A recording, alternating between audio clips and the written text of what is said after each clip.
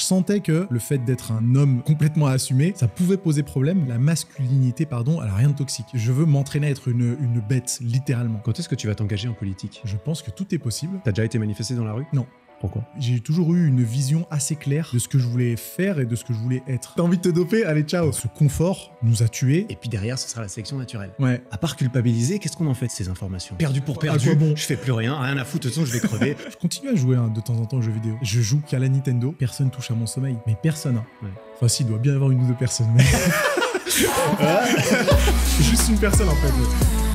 Donc t'as pas été, euh, t'as pas été nous faire un, un petit running lion hier alors? Non. Non Mm. Pourtant, euh, C'était ça- le projet à la base. Ah c'est vrai Mais c'était même pas le projet en mode perf, c'était le projet en mode euh, team building avec les gens de mes Ah, sociétés. c'est stylé ça. ouais, je les ai motivés. Enfin, je voulais les motiver parce que je suis pas arrivé au final. Ouais. Je voulais les motiver. J'avais dit, venez, on part en groupe, on est une quinzaine, on fait le semi tous ensemble. Mec, c'est propre ça. Donc euh, j'étais chaud pour ça. Et puis, bah, malheureusement, les gens se sont un peu déchauffés. Mhm. Et j'ai envisagé de le faire tout seul. Et en fait, euh, cette semaine, j'ai eu trop de boulot. Ouais. J'ai remplacé un de mes coachs qui était malade. Je me suis dit, ah, vas-y, la flemme. Ouais, ouais, je Un peu, comprends. voilà.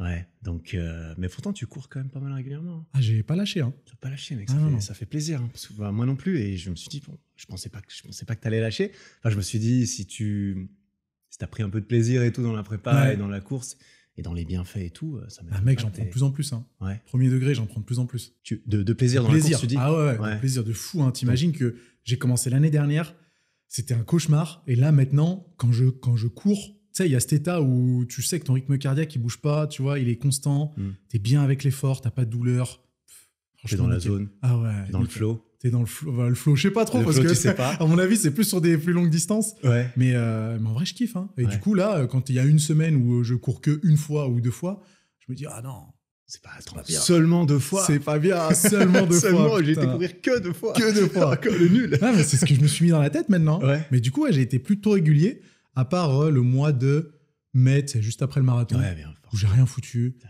Et tu- sinon, le reste du temps, euh, j'ai vraiment mis ça dans ma routine. Ouais, c'est plaisir. trop cool. On va en parler un petit peu justement. Ouais. Euh, Nassim Saïli, bienvenue, re-bienvenue Re- sur, le, sur le podcast. Ça fait toujours autant plaisir de te voir en vrai, tout comme de discuter avec toi. Un plaisir d'être là. Plaisir, Vraiment. ouais, à ouais. chaque fois qu'il y a une invitation, moi je viens, tu sais. hein. Ouais, bah c'est vrai. Direct. Et hein. en plus, je suis, euh, je, ça me permet de venir à Lyon, de visiter un petit peu. J'étais courir à Lyon hier, on en parlait justement. J'étais courir un peu au hasard euh, à Lyon hier. Il faisait ça, beau, euh, ça fait hier le taf. Euh, hier soir, je suis allé après, euh, après un autre euh, tournage, donc euh, Ah. 22h, il faisait plus beau. J'y suis allé quand même. Et euh, aujourd'hui, on va parler de différents sujets un petit peu euh, d'actualité. On va commencer un peu par sport et santé parce que, Allez, parce que voilà, ça, on adore. allez. Et ensuite, on va, on va partir sur d'autres sujets que la dernière fois dans, où on avait plus été dans ton parcours, etc. Là, on va parler d'autres trucs. On va pas parler que de muscu parce que Nassim, il en parle déjà beaucoup. Je me dis qu'il doit connaître son sujet. Il Un petit peu, ouais. tu- ça, tu- là, c'est bon. Ouais. hein. En tout cas, c'est l'image que tu renvoies. On a Là- l'impression que tu connais ton Là, sujet. c'est bon, ouais. Ouais. Tu avais partagé une story il y a quelques temps Mhm. qui m'avait euh, frappé aussi parce que je n'avais pas encore écouté le podcast en question. C'était une story à propos d'un épisode du podcast de Andrew Huberman sur l'espèce de euh, routine fitness optimale Ah parfaite Ouais, pour la longévité. pour la longévité, la vitalité, etc. Est-ce que tu te souviens un peu dans les, euh, dans les, dans les grandes lignes, en tout Ouais. cas, ce que lui préconisait, de par voilà, sont toutes les études, Ouais, le côté ouais. scientifique, euh, crédible de tout ce qu'il raconte. Je me souviens dans les grandes lignes, et c'était en fait un, un mix en fait entre activité cardiovasculaire, activité plutôt re- renforcement musculaire, et il y avait une partie aussi amélioration de la force. On pourrait considérer ça comme euh, euh, travail euh, musculaire, mais il y avait une partie amélioration de la force.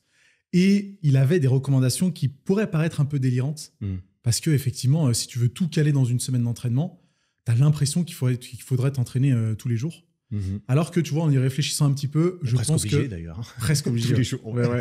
Je pense qu'en y réfléchissant un peu plus, avec une bonne programmation, il y a moyen de s'en sortir avec euh, tu sais, 3-4 séances dans la semaine. Mhm. Je me rappelle plus exactement de ces recommandations. Je crois que c'était. Tu les as? je les ai Ah, justement, je te les, par- je te, je te les rappelle. Ah, quand même, Fantastique. attends, évidemment, j'ai quand même été chercher le truc. Il préconisait 150 à 200 minutes de cardio en zone 2, Ouais. donc plutôt euh, endurance fondamentale, base cardiovasculaire. Euh, 2 à 4 entraînements cardiovasculaires euh, plus Intense. avancés, Mhm. plus intenses, et 2 à 4 sessions de renforcement musculaire.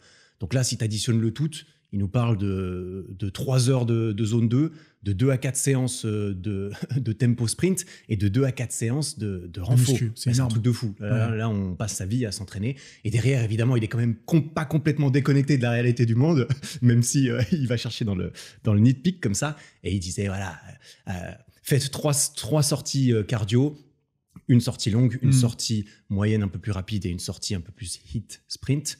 Et puis trois séances euh, de muscu. Lui, il préconisait, enfin, il, il parlait de son propre split qui était upper, lower, et puis ensuite euh, euh, partie accessoire du corps, euh, les, les mollets, les avant-bras, le reste. Et on partait quand même sur six séances par semaine sur le truc un peu réduit. C'est costaud. hein. Ouais, Et quand j'ai posté la story, la, enfin 90% des réactions, c'était c'est impo- c'est impo- impensable.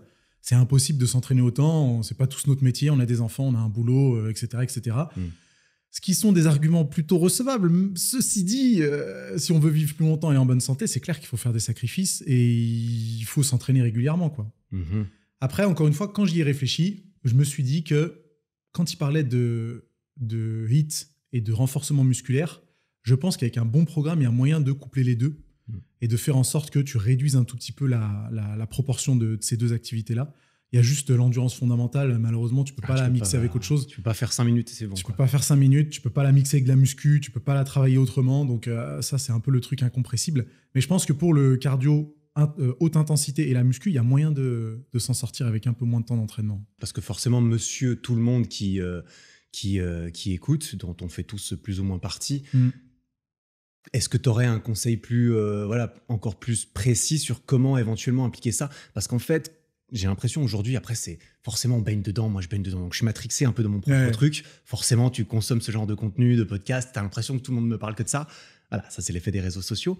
Mais j'ai quand même l'impression qu'aujourd'hui, on a une certaine pression, euh, sociétalement parlant, un petit peu de ah bah il faut que tu fasses du cardio, il faut que tu fasses de la muscu. Attention, si tu dors mal, ça sert à rien. Arrête-toi tout de suite. Arrête-toi tout Merci, tu manges mal, bah ça sert à rien non plus. Arrête-toi tout de Si suite. t'es stressé tout le temps, eh, eh, arrête-toi tout de suite. Et ensuite, t'en- t'entends ça, et j'essaie de me mettre à la place d'autres personnes qui ont euh, des enfants, un emploi du temps chargé. À part culpabiliser, qu'est-ce qu'on en fait de ces, informations? Ouais, j'avoue que c'est compliqué et quand euh, tu parles de tout ça à Monsieur Tout le Monde, comme tu dis, c'est un peu anxiogène hein, de se dire il faut faire tout ça et si je prends pas soin de mon sommeil, je prends pas soin de ma bouffe, etc., ça sert à rien. Euh, C'est clair que ça complique un petit peu la tâche. Ceci dit, je pense qu'il y a une certaine déconnexion aussi un peu de notre part. hein. Peut-être que, comme tu Mm, l'as dit, ah, on est matrixé. Et quand euh, personnellement je m'adresse à des gens qui sont pas du tout là-dedans, en l'occurrence les clients qui viennent s'inscrire à ma salle pour du coaching, Mm. cardio ils savent pas ce que c'est, haute intensité ils savent pas ce que c'est, muscu ils savent pas ce que c'est, le sommeil ils ont des notions mais vraiment mais rudimentaires, c'est c'est la, la base de base. La bouffe, c'est n'en parlons même pas. Donc euh, c'est bizarre parce que nous on a des attentes qui sont très très très très hautes, Mm. alors que je vais dire le commun des mortels, mais c'est pas péjoratif, hein, l'énorme majorité de la population, ils ont des connaissances qui sont euh, proches de euh, zéro. Donc, le, si je devais donner un conseil concret, ce serait vraiment d'y aller de manière progressive. C'est un peu comme l'histoire des 10 000 pas. Ouais. On a envie, de, euh, on a envie de, de, de gaver ça, de gaver tout le monde avec cette histoire de 10 000 pas, alors que la réalité, c'est plutôt de d'augmenter le nombre de pas qu'on fait. Si c'est 1000 et qu'on passe à 2000, c'est une très bonne nouvelle, même si on est loin des 10 000 encore. Donc, c'est cette histoire de, de, progress- de progression, progressivité Mhm. d'y aller de manière progressive. Et je pense qu'avec euh, ce qu'a dit Huberman, c'est un petit peu la même chose. Si tu t'entraînes pas de la semaine et que tu arrives à caler deux séances, une séance cardio, une séance muscu euh, haute intensité, bah, c'est royal. Déjà, les effets sur ta santé et sur ton bien-être, euh, ils sont réels. Ouais. Après, arriver à caler le programme parfait d'Huberman, ça demande du temps. Déjà, pour nous, ce serait quelque chose qui demande du boulot. Alors, pour les gens euh, qui s'entraînent qu'une fois par semaine ou pas du tout, ah, c'est c'est Tu te insurmontable. sens envie de dépasser et euh, il faudrait surtout pas que ça te décourage en mode bon bah vu que j'arrive pas à m'entraîner six fois par semaine Grave. perdu À pour quoi- perdu bon je fais plus rien À rien à bon foutre de toute façon je vais crever autant euh, voilà autant profiter je vais pas en plus passer euh, euh, le peu de temps que j'ai dans ma vie à la salle là où en plus potentiellement ça me plaît pas de, de Ouais. passer du temps à la salle mais c'est vrai que ça fait peut-être plus culpabiliser les gens qui sont on dira health conscious Mhm. par exemple les gens qui écoutent ce genre de podcast tu vois ou qui regardent ta chaîne qui sont pas euh, qui sont pas des, des professionnels de Mhm. la santé mais qui aiment attentifs. penser qu'ils sont, ils sont attentifs, ils ont envie de, de, de s'améliorer. Puis c'est vrai que des fois, tu te dis, ouais, ça fait quand même beaucoup. Et c'est vrai que quand tu dis qu'on a certaines attentes euh, élevées ou quoi, je pense que ça vient aussi de certaines exigences personnelles. Bien sûr. Peut-être que euh, toi, du coup, tu t'imposes à, au niveau de, ta santé, de, ton intégrité physique et mentale, etc. Et qu'on pourrait avoir tendance à projeter un peu sur bon bah, euh, je pense que je connais un peu mon truc. Euh, c'est vrai que je comprends pas pourquoi les autres euh, le font pas. font pas. c'est bizarre, ça me, passe un peu au-dessus. Et du coup, toi, toi concrètement, c'est quoi un peu ta routine sportive actuelle Parlons justement de, de renfo, de, cardio et puis le reste des facteurs en dehors du, sport? Alors perso, moi, alors je suis conscient d'en faire beaucoup, mais j'en fais beaucoup pas parce que ça va être intéressant pour moi, c'est surtout parce que j'aime ça. Hmm. Je t'avoue que je m'entraîne presque tous les jours parce que j'adore ça. Donc tu m'enlèves la muscu ou tu, enfin, tu m'enlèves le sport euh, euh, en règle générale, je serais quand même un peu triste. Mais ma routine, effectivement, c'est deux entraînements par jour, presque 7 jours sur 7. Donc je dois ah faire. Oui. Ouais, je dois ça faire. semble beaucoup aux yeux de. Même moi qui n'ai pas l'impression de rien, de rien branler. Après, j'ai un mode de vie et un emploi du temps qui est, euh, qui est organisé autour de ça. Donc, euh, clairement, euh, je fais l'effort de me libérer du temps pour ça, mais j'ai aussi beaucoup plus de facilité à me libérer du temps pour ça. Hmm. Ceci dit, je dois faire ouais, entre 10 et 14 heures de sport par semaine, hmm. et ça inclut une séance cardio le matin et une séance muscu l'après-midi. Et la séance muscu, des fois, je la décompose et je fais un peu de cardio à haute intensité. Ou alors, quand je fais mon cardio le matin, et que c'est pas des séances d'endurance fondamentale, par exemple, c'est du fractionné, hmm. je considère que c'est mon cardio à haute intensité. D'accord. Voilà comment ça se euh, comment ça s'articule. Après, je m'impose pas de nombre de séances dans la semaine. J'essaie d'en accumuler un maximum pour que quand j'ai des impératifs, quand je pars en vacances, quand je suis en week-end, quand euh, j'ai pas envie de m'entraîner, je m'entraîne pas. Mais quand tu lisses un petit peu la chose, euh, je dois être à ouais, 6 séances par semaine, enfin non, 12 séances par semaine deux, entraînements 6 euh, jours sur 7. Et tu dis, euh, quand j'ai pas envie de m'entraîner, je m'entraîne pas. Hmm. J'ai pas, j'ai pas besoin. Quel serait le, le, nombre minimum en dessous duquel tu dirais ah non là Nassim c'est pas possible, t'as pas envie mais tu vas quand même? Euh, alors en fait j'ai presque tout le temps envie. Hein. Quand je dis j'ai pas envie, justement. quand je dis j'ai pas envie de m'entraîner, c'est plutôt quand je peux pas m'entraîner. Ouais d'accord. quand je peux pas m'entraîner, par exemple quand je pars en vacances, je vais pas trop chercher à m'entraîner parce que j'aime bien m'entraîner dans de bonnes conditions et je préfère ne pas faire de séance plutôt que de m'entraîner dans un euh, hôtel gym euh, qui est un peu pourri. Profiter des vacances, exactement. Quand je pars en déplacement, quand je suis en week-end euh, avec telle ou telle personne, je vais pas chercher à aller m'entraîner forcément. Mais comme je bouge, enfin, si je bouge quand même pas mal, mais j'ai une routine qui est bien calée à Lyon et quand je peux la respecter, bah, ça fait que je peux m'entraîner deux fois par jour et j'accumule un max de séances. Et tu fais ça dans un but c'est quoi ta, motivation euh, profonde vis-à-vis de ça? Et je parle notamment, on pourrait se, dire aussi, on a, abordé ça rapidement au tout début de, l'épisode, mais ce mm. c'était pas spécialement euh, prévu, on dira. Bah, et pourquoi tu fais autant de cardio, par exemple, par, rapport à la muscu? Pourquoi tu fais autant de muscu? Bon, tu adores ça. Est-ce que euh, tu es motivé par la longévité, la vitalité, certaines, certains objectifs, certaines échéances qui sont peut-être pas claires dans ta tête, mais que tu te dis éventuellement, on sera prêt le jour où, dans, dans, 10, dans 10 mois, il faudra que je sois prêt. C'est quoi qui, te, qui te donne euh, à ce point-là envie de... Alors déjà, la muscu, c'est 100% plaisir. Hmm. Tu vois, il n'y a plus trop l'attente de vouloir développer tel physique, même si, enfin, je l'ai déjà développé le physique sans prétention. Donc maintenant, il n'y a plus trop cette attente-là. Et euh, vraiment, mes séances de musculation, je les, je les aime pour ce qu'elles sont. C'est-à-dire me dépasser, euh, arriver à exécuter les exercices à la perfection. C'est ça qui me motive en fait. C'est ça, qui hmm. me, c'est ça qui me motive. Après, effectivement, de manière secondaire, il y a mon reflet dans le miroir que j'aimerais être le plus agréable possible. hein, tout pas de mal à assumer ça, hein, moi c'est pareil. J'assume 100%. Et euh, il y a cet objectif secondaire, donc forcément je fais de la muscu parce que j'adore ça, et après parce que enfin, je me plais quand je me, je me, regarde dans le miroir, aussi simple que ça. Pour le cardio, il y a aussi cette notion plaisir, mais pas de plaisir total comme pour la muscu. Donc je me suis forcé, enfin pas forcé, si au début je me suis forcé, maintenant je me force plus. Mais au début je me suis forcé à en intégrer parce que d'une j'avais un objectif de marathon, et de deux, effectivement, ces dernières années, je me suis quand même, enfin, j'allais dire, je me suis beaucoup renseigné, mais j'ai été beaucoup confronté à du contenu comme celui d'Andrew Oberman, où on parlait justement de l'importance de la santé cardiovasculaire, cardio-respiratoire pour la longévité. Et je t'avoue que de me dire qu'à 70 ou 80 ans, je suis toujours capable de marcher, courir, sauter, euh, ça, c'est un super goal. Mmh, ça, c'est un super goal. Ouais. je pense que c'est possible. Je pense que c'est possible et je vais tout faire pour parce que euh, j'ai pas la peu, je veux pas rester jeune à tout prix, mais je veux bien vieillir. Tu vois, c'est la distinction. Et euh, je pense que l'ajout du cardio, bah, c'est au début surtout pour ça. Et maintenant, après, je, maintenant, je retrouve un peu les mêmes plaisirs que dans la muscu, c'est-à-dire me dépasser et essayer d'avoir euh, la perfection de l'exécution, quelque chose qui me tient à cœur dans tout ce que je fais. Ça se voit. dans tout ce que je fais. Et là, maintenant, je prends plaisir vraiment à me dire, OK, je m'améliore en course à pied, je commence à... Mes, mes foulées sont plus jolies, je prends plus de plaisir, je me dépasse, et euh, j'arrive à visualiser un peu ce que je pourrais, le niveau que je pourrais avoir avec telle ou telle préparation. Tu vois, c'est un peu moins flou, alors qu'au début, ça l'était un peu plus. Il y a aussi cette notion peut-être que euh, bah, justement dans la muscu, c'est pur plaisir, c'est pure habitude.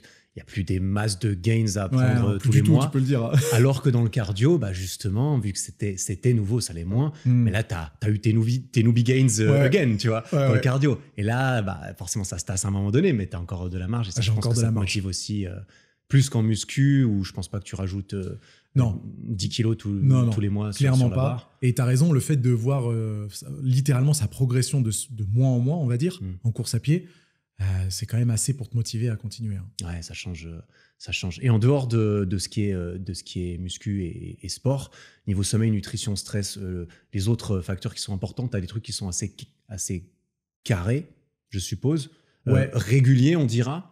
Bah- Et dans quelle mesure est-ce que tu es strict, par exemple, avec toi-même sur le, le reste? Bah, le sommeil, déjà, Ouais. personne touche à mon sommeil. Mhm. Mais personne. hein. Ouais. Qui que ce soit. Enfin, si, il doit bien y avoir une ou deux personnes. Mais... Juste une personne, en fait. ouais. Certaines personnes ont un grand pouvoir sur. Nassim, mais très peu. très, très peu.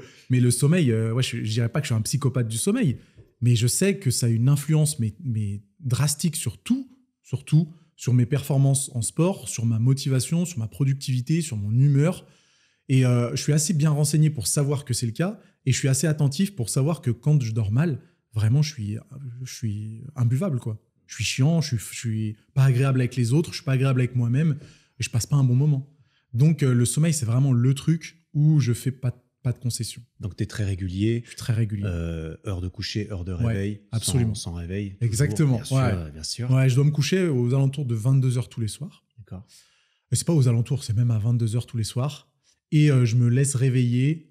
Et très, très souvent, je me réveille aux alentours des 7h. Donc je dois avoir entre 8h30 et 9h de sommeil. Ah ouais, quand même. Ah ouais, costaud. Propre, Ouais, costaud. Ah, Je bien. pourrais fonctionner avec moins, mais on sait très bien qu'il y a une différence entre fonctionner et optimiser. Et j'ai envie d'optimiser.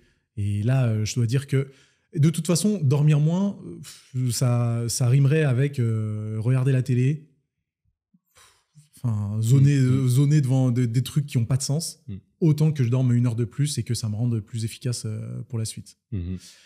Et sur le reste, euh, je t'avoue que sur- la, la diète. Ouais, la diète, je suis un peu moins, un peu moins strict, dans le sens où j'ai plus de flexibilité et peut-être que j'ai trouvé ce qui fonctionnait bien pour moi, c'est-à-dire suivre mes macros et mon total calorique.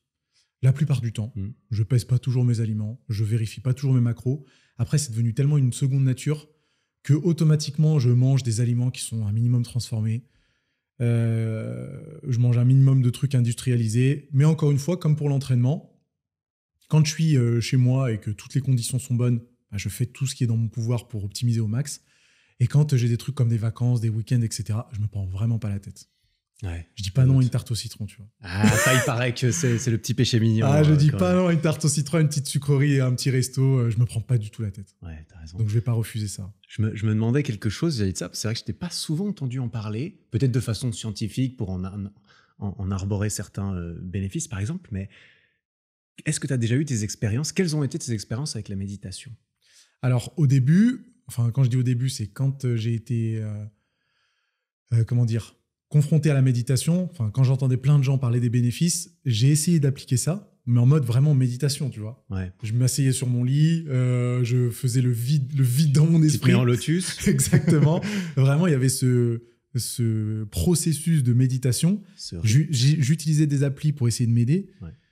Mais enfin, j'arrivais pas à en trouver les, les- les effets bénéfiques. D'accord. J'avais pas l'impression que ça faisait baisser mon stress, ou ça m'aidait à, à mieux visualiser mes objectifs ou quoi que ce soit. Donc j'ai dû faire ça pendant allez, deux ans quand même, tu vois, et je me suis bien euh, obligé, entre guillemets, à, à avoir cette routine-là. Et puis après, j'ai arrêté. Peut-être parce que la méditation, pour moi, maintenant, c'est la musculation, dans le sens où vraiment, c'est un moment où je, suis, où je pense à rien d'autre, où je vais pas être embêté par euh, les factures qui m'attendent ou euh, le boulot qui m'attend ou quoi que ce soit. Je pense juste à la musculation. Et ça, c'est vachement libérateur. Et mine de rien, ça fait baisser mon stress. Mm.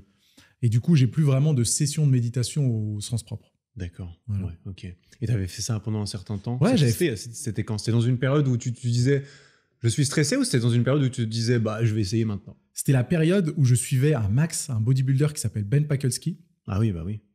Où, Énorme, euh, je suis allé aux énorme, États-Unis pour faire un stage de muscu avec lui. Parce Ah, ça fait un moment, c'était quand ça? Ouais, c'était en 2017. Hmm.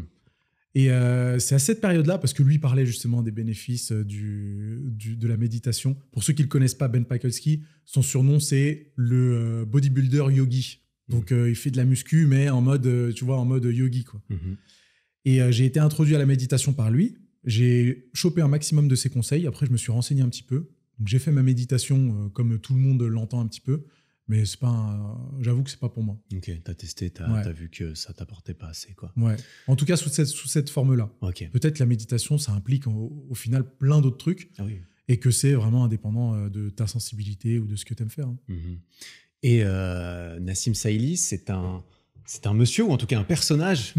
Quand on le voit et quand on consomme un peu, on se dit ah Nassim, il est quand même assez scientifique, rationnel, carré, cartésien. En tout cas, c'est l'image que tu renvoies.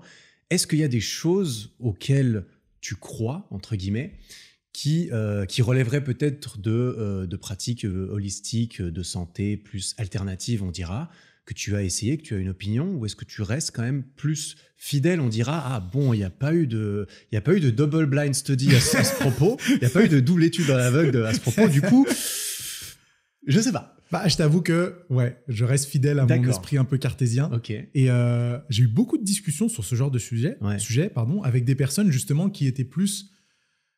Je vais utiliser le mot mystique, mais c'est Mhm. pas péjoratif. hein, Non, non, mais pas du qui tout. étaient même. plus euh, dans, dans une approche mystique. Et moi, j'avoue que je cherchais tout- toujours des, des justifications physiologiques. Quand une personne me parlait de, euh, de, de méditation, de bien-être, de, de, de tout ce genre de choses, j'essayais de trouver une justification physiologique. Pour mon interlocuteur ou mon interlocutrice, c'était pas agréable de m'entendre parler comme ça. Je Je, peux le comprendre. Et euh, j'avoue que j'ai du mal à m'abandonner à quelque chose qui n'aurait pas de justification euh, physiologique et ou scientifique. Je Est-ce que tu as essayé des choses ou pas? Ah, j'ai rien essayé. T'as rien essayé Non, alors j'avoue que j'ai rien T'as essayé. jamais été voir un, un médium, un magnétiseur euh, Jamais. T'as jamais fait d'acupuncture? Tu le, tu le caserais euh, là-dedans, l'acupuncture? Ou Ah, il y a pas. suffisamment d'évidence à, tes, euh, Je sais à ta pas, bonne question. Tu sais pas? Euh, l'acu- L'acupuncture, je serais moins, moins hermétique à Ouais. tester. Par contre, quand je le dis franco, quand des gens me parlent de magnétiseur, j'ai un, un petit sourire en coin. D'accord. Je me dis, non mais attends, est-ce que tu te foutrais pas un peu de notre gueule? Après, tu vois, j'ai le recul nécessaire pour me dire si ça marche sur certaines personnes. Déjà, tant mieux. Et j'ai pas la science infuse. Clairement qu'il n'est pas impossible que ça fonctionne, tu vois. Et surtout, ces gens te diraient bah là, on parle plus de science. Ouais, La science infuse ne sert à rien. Ce n'est c'est vrai, le, ça. Le, le- le- le domaine de la science s'est arrêté avant euh, l'endroit où je te parle. Tu vois. Abs- absolument. Donc, euh, je pense que c'est surtout mon caractère Ouais. qui explique ce comportement-là. Mais euh, je ne suis pas fermé à ce genre de choses. Peut-être qu'un jour, je testerai. Mm. Et je pense que euh, je suis assez curieux pour, euh, pour tester, en fin de compte. hein. Mais euh, je dois dire que mon caractère euh, cartésien prend toujours un petit peu le dessus. Hmm. Depuis toujours. Depuis toujours. Ouais. Je vois, toujours. je vois le truc. Ouais. Une question peut-être un peu euh, qui pourrait en découler, mais du coup, je, je suis quand même curieux de, de savoir, est-ce que tu as un rapport, une relation personnelle à, à la spiritualité ou à la religion, qui pour moi sont quand même voilà, englobées un peu l'une dans l'autre? Est-ce que ça, c'est quelque chose que, que tu as en tête? Ouais, Ouais. ouais, Sous ouais. quelle forme? En fait, tu sais, la religion, j'en parlais avec quelqu'un, je sais plus qui, et on disait que c'était le summum du développement personnel, en fait. Hmm. Pour nous, c'était vraiment une façon de vivre, de vivre une vie meilleure, Mhm. d'être un, un meilleur être humain, de mieux gérer ses relations avec les autres, d'être, euh, d'avoir une morale qui nous permet d'être euh, en, en alignement avec euh, ce qu'on est véritablement. Donc, dans ce sens-là, la religion, c'est quelque chose qui me, qui me parle. La spiritu- spiritualité, en tout cas, c'est quelque chose qui me parle. Mm. Après, moi, j'ai été élevé dans la culture musulmane. Et ce sera toujours ma culture. Parce qu'il y a des choses qui me. Enfin, il y a des choses. J'ai baigné dedans littéralement. Donc, c'est quelque chose qui, me, qui, qui résonne en moi. Et je pense que ça résonnera toujours en moi. Et dans ce- ta question, c'est si je crois en Dieu ou si j'ai un non, à- c'était ouais, c'est ton rapport avec ça. Euh, Après, à toi de développer autant que tu le, que tu le sens. Je te demande pas nécessairement de. Plutôt, je te demanderais plutôt, est-ce que tu crois en quelque chose? Et ça, après, tu peux l'appeler Dieu, tu peux l'appeler l'univers. Tu, enfin, tout dépend de ta, ta religion et tes croyances. Ouais, je crois 100% en quelque chose, Mm. en une euh, force euh, supérieure, disons. Mhm. Alors, je sais que ça, ça contredit un petit peu le caractère cartésien, tu C'est vois. ça qui est marrant, justement. C'est pour ça que. Ça contredit un peu le caractère cartésien, mais je sais pas. je pense qu'on peut. euh, J'ai failli dire, je pense qu'on peut trouver une, une, une explication scientifique. Je pense qu'on va Mais- pouvoir étudier le truc bientôt. Mais non. Mais euh, il y a des choses qui font sens et la Mm. spiritu- spiritualité pour moi fait sens. Mhm. Voilà, fin de fin de la déclaration. Ouais, c'est marrant. J'ai- eu des réflexions euh, similaires vis-à-vis de ça, et c'est quelque part. Moi, je suis beaucoup plus, hein, je suis beaucoup plus de ton, de ton côté, bien sûr, beaucoup plus euh, rationnel que mystique. Hein, à nouveau, pour reprendre les choses, je m'ouvre de plus en plus à, à l'autre côté parce que je me dis, eh, qu'est-ce que j'ai à perdre? Au Ah ouais, contraire, j'ai sûr. sûrement tout à gagner. Et c'est vrai que l'aspect spirituel et, et peut-être par extension euh, religieux aussi m'attire peut-être pour des. Alors, tu me diras, je veux pas mettre des mots dans ta bouche, mais c'est un peu ce que j'ai entendu, ou en tout cas, c'est plutôt mon, mon point de vue, c'est que je me dis, en fait, tu prends quelqu'un, par exemple un homme, je m'apparente mieux à un homme, tu prends un homme qui, qui est assez résolu, développé dans, dans sa vie, il va, il va pouvoir, euh, il, va, il, va être, il va être en place, on va Mm. dire. Tu rajoutes à cet homme des croyances euh, en, en des choses qui le dépassent lui-même, et il va garder toutes ses, ses compétences, mais il sera prêt, par exemple, à mourir pour sa cause. Mm. Et ça, j'aime autant dire qu'on en a eu besoin de personnes qui, on en a eu besoin, on a eu des preuves de gens qui étaient prêts à mourir pour leur cause. Et quelque part, quand tu as cette croyance-là, ça te, bah, ça te développe encore plus. T'es encore, t'es prêt à, bah, t'es prêt à faire peut-être encore plus de sacrifices pour les choses qui ont, des, qui ont de l'importance pour toi, que ça soit une entité supérieure Mhm. ou euh, quelque chose de plus rationnel. Euh, peut-être il y a des transferts avec bah, ma famille, euh, la chose qui est, les choses qui ont, qui ont de l'importance. Donc en fait, c'est con parce que j'en viens à, à- à me dire. La spiritualité, c'est stylé parce que rationnellement, ça va m'améliorer, Ouais, tu vois. Exactement. C'est euh, comment trouver une justification? Ouais, je ce que tu devrais pas Et justifier. j'ai pas envie d'avoir en trouver, tu vois, mais quelque part, je peux pas m'empêcher de me dire, ah putain, les gens qui ont des, qui ont des fortes croyances, ils sont encore plus, plus forts. Mais je suis En quelque 100% d'accord. Je suis 100% d'accord et je sais que ça peut être contradictoire comme raisonnement, hein, Mm. mais je suis 100% d'accord et effectivement, je, cette idée me plaît de penser qu'il y a une, il y a une, une entité, une force supérieure au-dessus de tout qui serait omnisciente et, euh, et euh, je sais plus où je veux en venir. Cette idée te plaît? Cette idée me plaît. Est-ce que ça guide un peu Oui, voilà. ton raisonnement, tes actions parfois? Voilà, c'est tu- une entité qui me donnerait une certaine responsabilité D'accord. et je devrais répondre, tu vois, de mes actes. C'est ça qui me plaît aussi, de Ah, devoir répondre de mes actes Je vois. et de me dire qu'un jour il y aura le jugement dernier, Hmm. peut-être, hein, on ne Mhm. sait pas, qu'il y aura le jugement dernier et que ça me permettra de faire vraiment littéralement le bilan de ce que j'ai fait dans ma vie. Ok, qu'est-ce que tu as fait? Est-ce que tu as été responsable? Est-ce que tu as fait du bien autour de toi? Est-ce que tu t'es fait du bien à toi-même? Est-ce que tu as été en alignement avec euh, les croyances que tu avais, avec ce que tu étais Tu vois, ça, ça me plaît. Hmm. On pourrait considérer que c'est mystique hein, pour le coup. Mais euh, j'avoue que c'est une idée qui, euh, c'est une idée qui me plaît. hein. Hmm. Ça te plaît d'être tenu responsable Absolument. aussi, euh, au bout du compte de ce que tu as fait, pas fait, et que c'est toi qui... Ouais, parce que si on n'éprouve pas de responsabilité, tu vois, c'est quand même difficile d'avoir une morale, c'est quand même difficile de. C'est quand même difficile de se sentir responsable. Et j'aime cette idée de me sentir responsable et d'être responsable de tout ce qui m'arrive en fin de compte. Mhm. Et c'est marrant parce que bah, ça- on en vient à un sujet qui, m'intéressait aussi. Tu avais déjà mentionné, je déjà entendu mentionner le fait que, euh, ou alors tu me, dis si je me trompe, mais d'un sentiment euh, partagé d'une certaine déresponsabilisation, euh, je sais pas d'un point de vue de, l'individu en, en général, ou peut-être que c'est sociétal, je sais pas exactement. Comment est-ce que tu trouves que, que ça se manifeste du coup? Alors, est-ce que, est-ce que tu trouves Je justement trouve 100% que c'est le cas. D'accord. Je suis 100% d'accord. Comment ça se manifeste? C'est difficile. Je suis pas. Enfin, je, je pense que j'ai pas les compétences euh, en sociologie pour euh, analyser ce genre de choses. Mhm. Mais effectivement, Quels sont les signes qui te font penser ça du coup? Je pense que c'est le comportement de. Ça fait un peu boomer de parler comme ça, hein, mais c'est le comportement des gens qui m'entourent.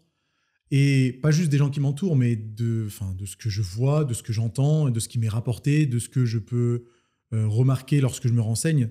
Euh, c'est vrai qu'on a un petit peu de mal à assumer la responsabilité de ses propres actes, de son propre état, de sa propre santé, de euh, son futur par extension.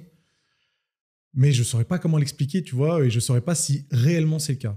Pour moi, ça reste une impression, Mm. et je ne sais pas si c'est réellement le cas. D'accord. Et tu, tu penses que ça viendrait de d'où? Est-ce que c'est un, est-ce que c'est quelque chose ou comment euh, peut-être Moi, je, je, je vais, je vais pas juste poser des questions. Je suis d'accord avec toi. C'est aussi un sentiment. euh, en fait, c'est peut-être que c'est juste une extension du fait que j'ai envie d'avoir des standards très Mm. exigeants pour moi-même. Et du coup, je fais attention à me dire bon, c'est pas parce que toi tu veux faire ça pour toi que tout le monde devrait le faire. Ça, c'est sûr et certain. Mais quelque part, tu te dis, moi, je me suis dit, je l'ai déjà dit dans, dans des podcasts, c'est vrai qu'il y a un, un peu plus de responsabilité personnelle partout. J'ai du mal à voir où ça ferait, ça, ouais, où ça ferait de mal. ça ferait pas de mal, c'est Mais à sûr quel moment est-ce que, à quel moment est-ce que d'un point de vue, après on verra peut-être d'un point de vue individuel euh, ce qu'on peut faire, d'un point de vue euh, général, est-ce que tu penses que euh, c'est quoi On devrait voir ça à l'école, on devrait voir ça, c'est les parents, on devrait, c'est la, culture de la société, c'est le gouvernement. C'est le gouvernement, c'est vraiment, il a vraiment bon dos le gouvernement. c'est probablement, probablement un peu de tout ça. Hein. Et je pense que, enfin, je crois que tu seras d'accord avec moi pour dire que le, enfin, on est, on est drogué au confort, quoi. Ah bah ça. Et je pense que c'était pas le cas il y a quelques décennies en arrière. Alors j'étais peut-être peut-être pas là pour le vivre de la même façon, mais en tout cas j'ai l'impression que c'était pas le cas il y a quelques décennies en arrière. Et du coup que ce, ce, enfin, ce confort nous a tués et euh, enfin nous a tués, euh, a tué beaucoup de personnes et du coup euh, a une influence directe sur la responsabilisation de la responsabilisation des gens quoi.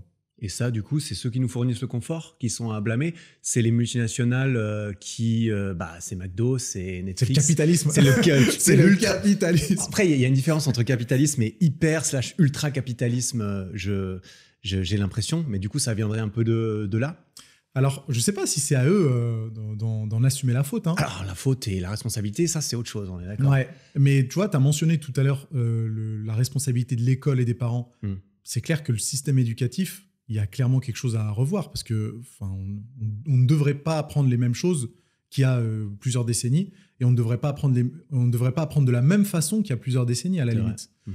Et là, j'ai l'impression qu'on fait du, enfin, je suis pas au ministère de l'Éducation nationale, hein, mais j'ai l'impression que ça fait un peu du surplace et que les cours sont toujours les mêmes qu'il y a 100 ans en arrière. Et une inertie de fou, ça c'est sûr. Alors que, euh, alors qu'on vit dans un monde qui est totalement différent. Donc je pense que il faudrait pouvoir traiter le problème à la source et que l'éducation aussi bien à l'école qu'avec les parents, a une grosse, une grosse part à jouer là-dedans. En tout cas, moi, je me projette bien avec mes enfants si j'en ai un jour. Tu allais te demander? Bah, Si j'en ai un jour, si j'ai la chance d'en avoir un jour, de, de, de, de, de faire mon boulot de parent et d'essayer de les responsabiliser dès le plus jeune âge.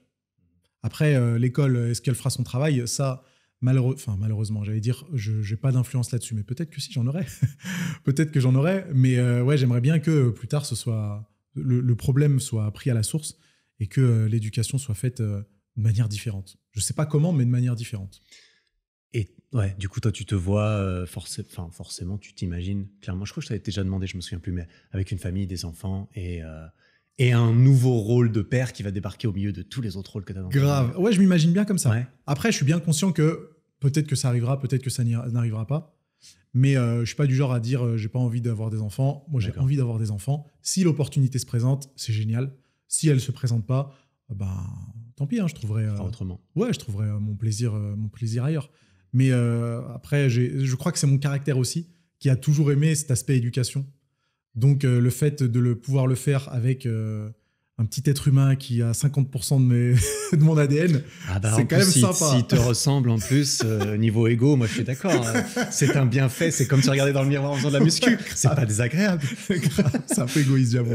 Bah, attends, je dis ça. Je pense, je pense que c'est normal et c'est naturel chez, tous les parents qui, qui nous écoutent aussi. Bien sûr. J'espère. En tout cas, moi j'aurais envie de, de pouvoir être un un, modèle et un exemple duquel euh, j'ai envie que mon enfant ressemble. Ah je ne fais pas des enfants pour euh, qui, qui, ressemblent à Gabriel. On est d'accord. Je sais pas. J'en ai pas encore fait. On est, d'accord. J'en ai pas encore fait, mais on, verra éventuellement.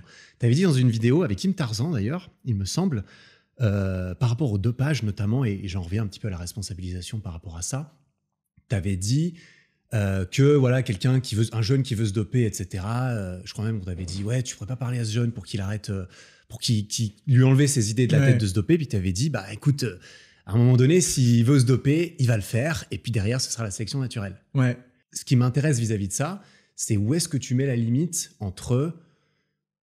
Bah, déjà, est-ce que tu. Euh, est-ce que tu maintiens du coup que euh, la sélection naturelle doit faire son, boulot. doit faire son boulot. Mais surtout, où est la limite en fait entre la sélection naturelle et et le moment où tu vas lui, où tu vas lui, euh, lui dire, euh, hmm. éventuellement lui donner euh, certains conseils à cette personne dans ce cadre-là. Et là, je parle de ça, ça peut être, Bien sûr. Ça peut être autre chose. Alors, je sais pas si c'est avec Im Tarzan, j'ai sûrement dit ça avec Im Tarzan, mais je crois que je l'ai dit dans un autre podcast ou dans une autre discussion, que la première approche, ce serait quand même une approche de sensibilisation. Une approche qui serait dans l'éducation. plutôt que d'être dans, la, dans le, la culpabilisation. Bien sûr.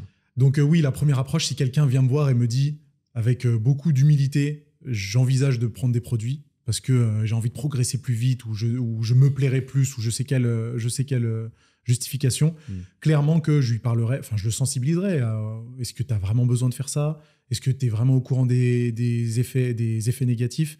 Est-ce que tu sais que c'est illégal? Est-ce que tu sais que, enfin voilà, vraiment de l'éducation pure et simple. Mm. Après, si je suis, euh, si, si je suis en face d'une tête de mule, euh, c'est clair que je vais pas, euh, je vais pas gaspiller mon énergie. Mhm. T'es majeur, vas-y. T'as envie de te doper, me demande pas mon avis. hein. Si jamais euh, t'es vraiment têtu et que t'as envie de le faire, eh ben tant pis pour toi. euh, Si jamais tu te retrouves avec une gynécomastie, euh, une calvitie précoce, des boutons dans le dos et potentiellement des trucs plus graves euh, sur le cœur, sur le froid, le foie, les testicules et tout ce que tu veux. Mhm. Donc euh, il y a un peu, tu vois, il y a un peu cette, cette, euh, cette double réaction. Mais clairement, la première réaction, ce serait sensibilisation, éducation, avant de passer à quelque chose de plus, plus direct et, et Mhm. froid. Mhm. Donc, c'est, donc tu recommanderais un petit peu. euh, un peu. C'est là que tu mettrais un- la limite. La limite est plus personnelle, j'imagine, entre euh, bah, chacun fait ce qu'il veut et c'est peut-être un peu mon rôle aussi de. ah, Quel est mon rôle justement d'éducation et d'influence que j'estime positive dans mon entourage? Parce Ouais. que ça peut être quelqu'un que tu connais pas trop, ça peut être un proche à toi aussi. Et là, je suppose que l'approche serait peut-être. euh, Ah, si un, différente? Oui, si c'est un proche à moi, il n'y a pas de sensibilisation. Si c'est Il un n'y a pas de sensibilisation. Ah non, a pas de comment, ça, comment ça sensibilisation. marche si c'est un proche- si un t'as envie de te doper, allez, ciao. Déjà, ah ouais, je, d'accord. parle plus avec toi. Très intéressant. Déjà, je parle plus avec toi. Et puis, euh, bah non, c'est ouais, quand euh, dans une dans un cadre privé avec ma sphère d'amis ou de proches, Hmm. euh, je suis beaucoup moins. Je suis pas le, le coach sur YouTube. Bah, je suis Nassim quoi, et je suis quand même beaucoup plus cash. D'accord. Donc, je prendrais beaucoup moins de gants, voire même pas du tout. Après, si c'est un inconnu ou quelqu'un qui me suit ou tu vois, là, j'estime quand même avoir un peu plus de Un responsabilité rôle différent. j'ai un rôle différent. Et bien souvent, il y a certaines personnes qui décident de se doper parce qu'elles ne sont pas au courant de ce qui se passe quand on se dope. Et elles, sont, elles imaginent juste le, le, enfin, le bon côté de la pièce. quoi. Et juste d'éduquer sur ce qui peut se passer de mauvais, ça peut déjà les convaincre à euh, ne pas passer le pas, ou en tout cas attendre un petit peu, qu'ils soient plus matures, ou qu'ils aient, euh, euh, qu'ils se voient plus clair, tout simplement. Et donc ça, par extension, on pourrait faire des, des parallèles, je sais pas, en dehors du dopage, sur le reste de, par exemple, l'hygiène, euh, l'hygiène de vie. Ouais, ouais, à 100%. Sensibilisation euh, dans la mesure où euh, c'est intéressant et ça, t- et ça te passionne, etc. Après, Ouais. évidemment, si Et que j'ai quelqu'un de réceptif en face de moi. quelqu'un de réceptif. Ouais. D'accord. Et justement, tu l'as mentionné, ça m'intéresse de savoir quelles sont éventuellement tes règles personnelles dans la, dans la culture de ton entourage personnel. Euh, par rapport aux produits dopants? Non, non, par rapport à ton entourage, tout simplement.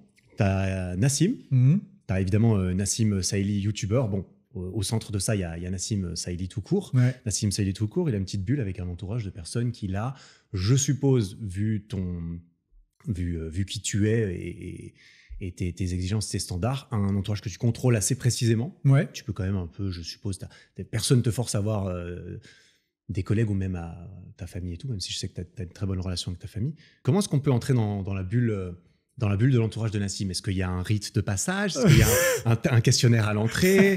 Euh, Une épreuve sportive? Je sais pas. T'imagines, avec cours 5 km.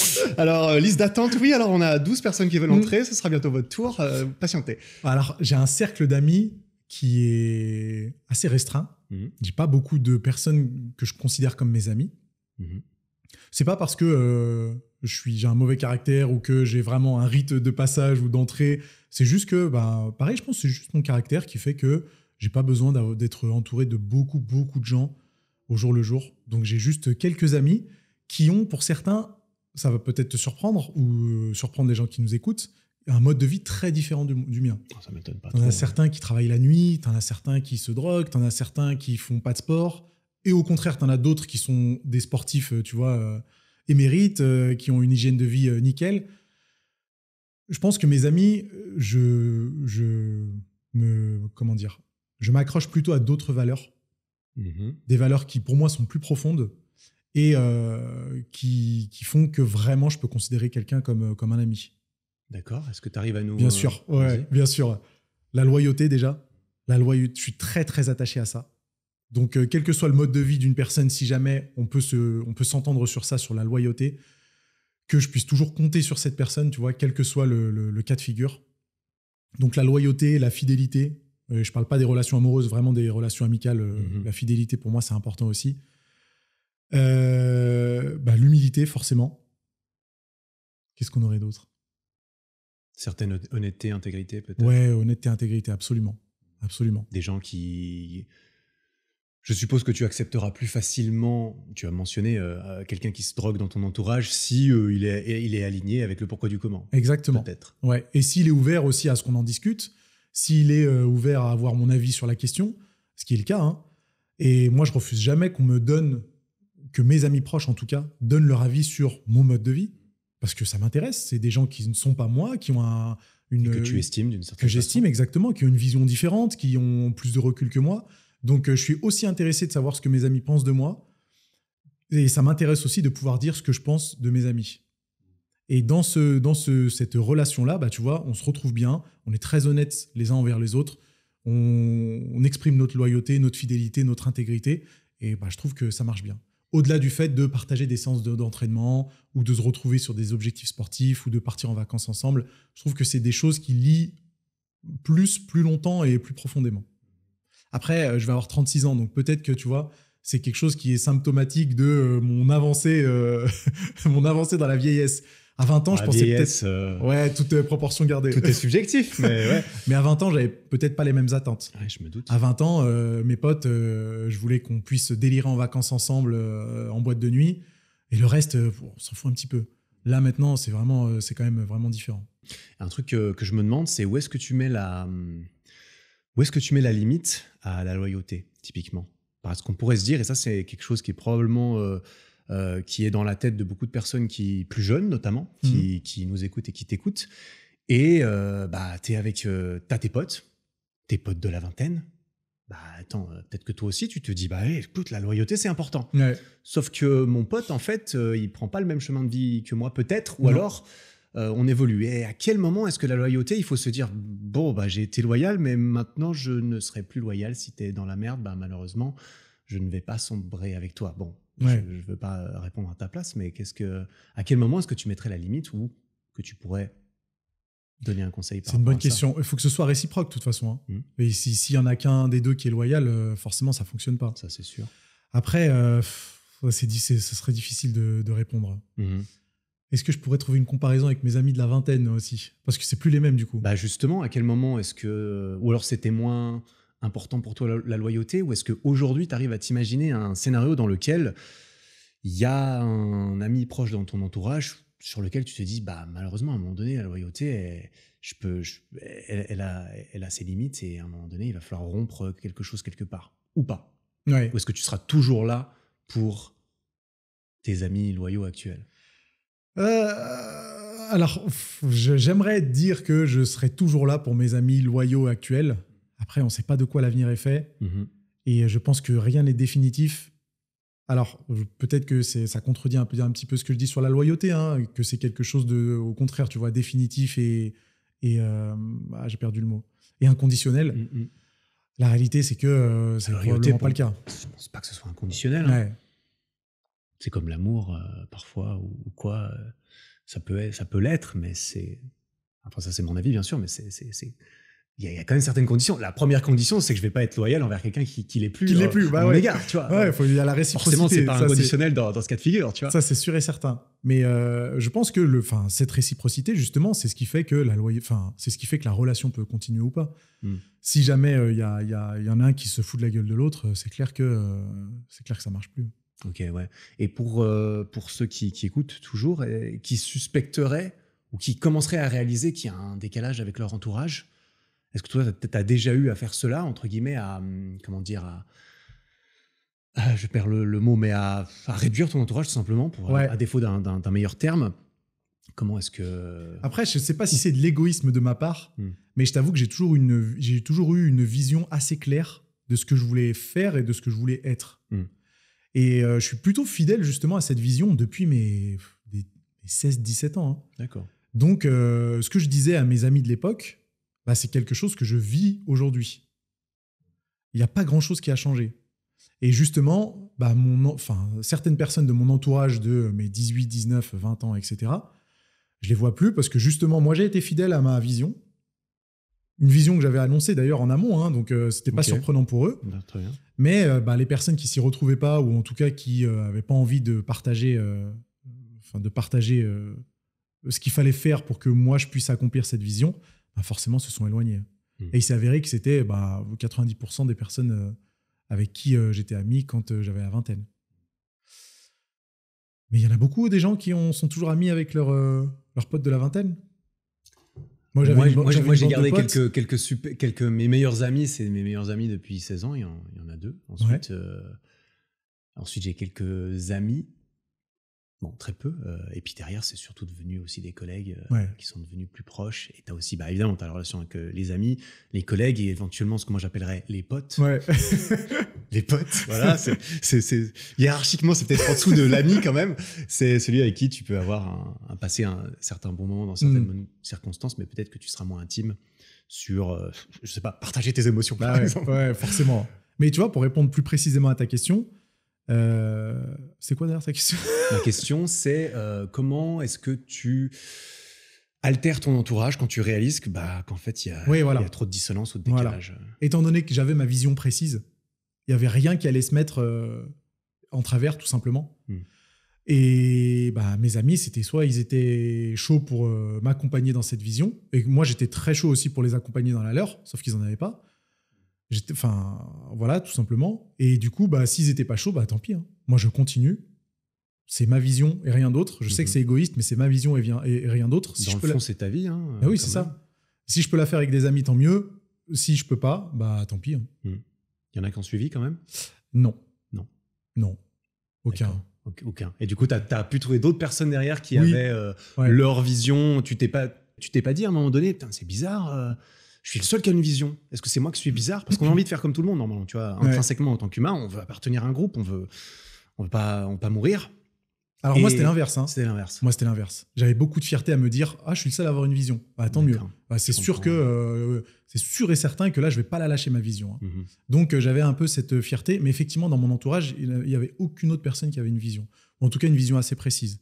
Je dis pas qu'il faut avoir une vision précise. Après, moi, c'est ce qui me, enfin, c'est ce qui me motivait. C'est vraiment quelque chose qui m'aidait à me projeter euh, dans l'avenir et à commencer à préparer un peu mon plan d'attaque pour que justement cette vision puisse se concrétiser. Mhm. Donc, le fait que les autres n'aient pas de vision, ça me faisait pas me sentir, enfin, ça me faisait pas me sentir bizarre ou euh, me sentir trop seul ou quoi que ce soit. Au contraire, j'étais très content et ça me limite, ça me, j'étais convaincu d'être sur la bonne voie, euh, de euh, de pas fonctionner comme les autres en, fin- en fin de compte.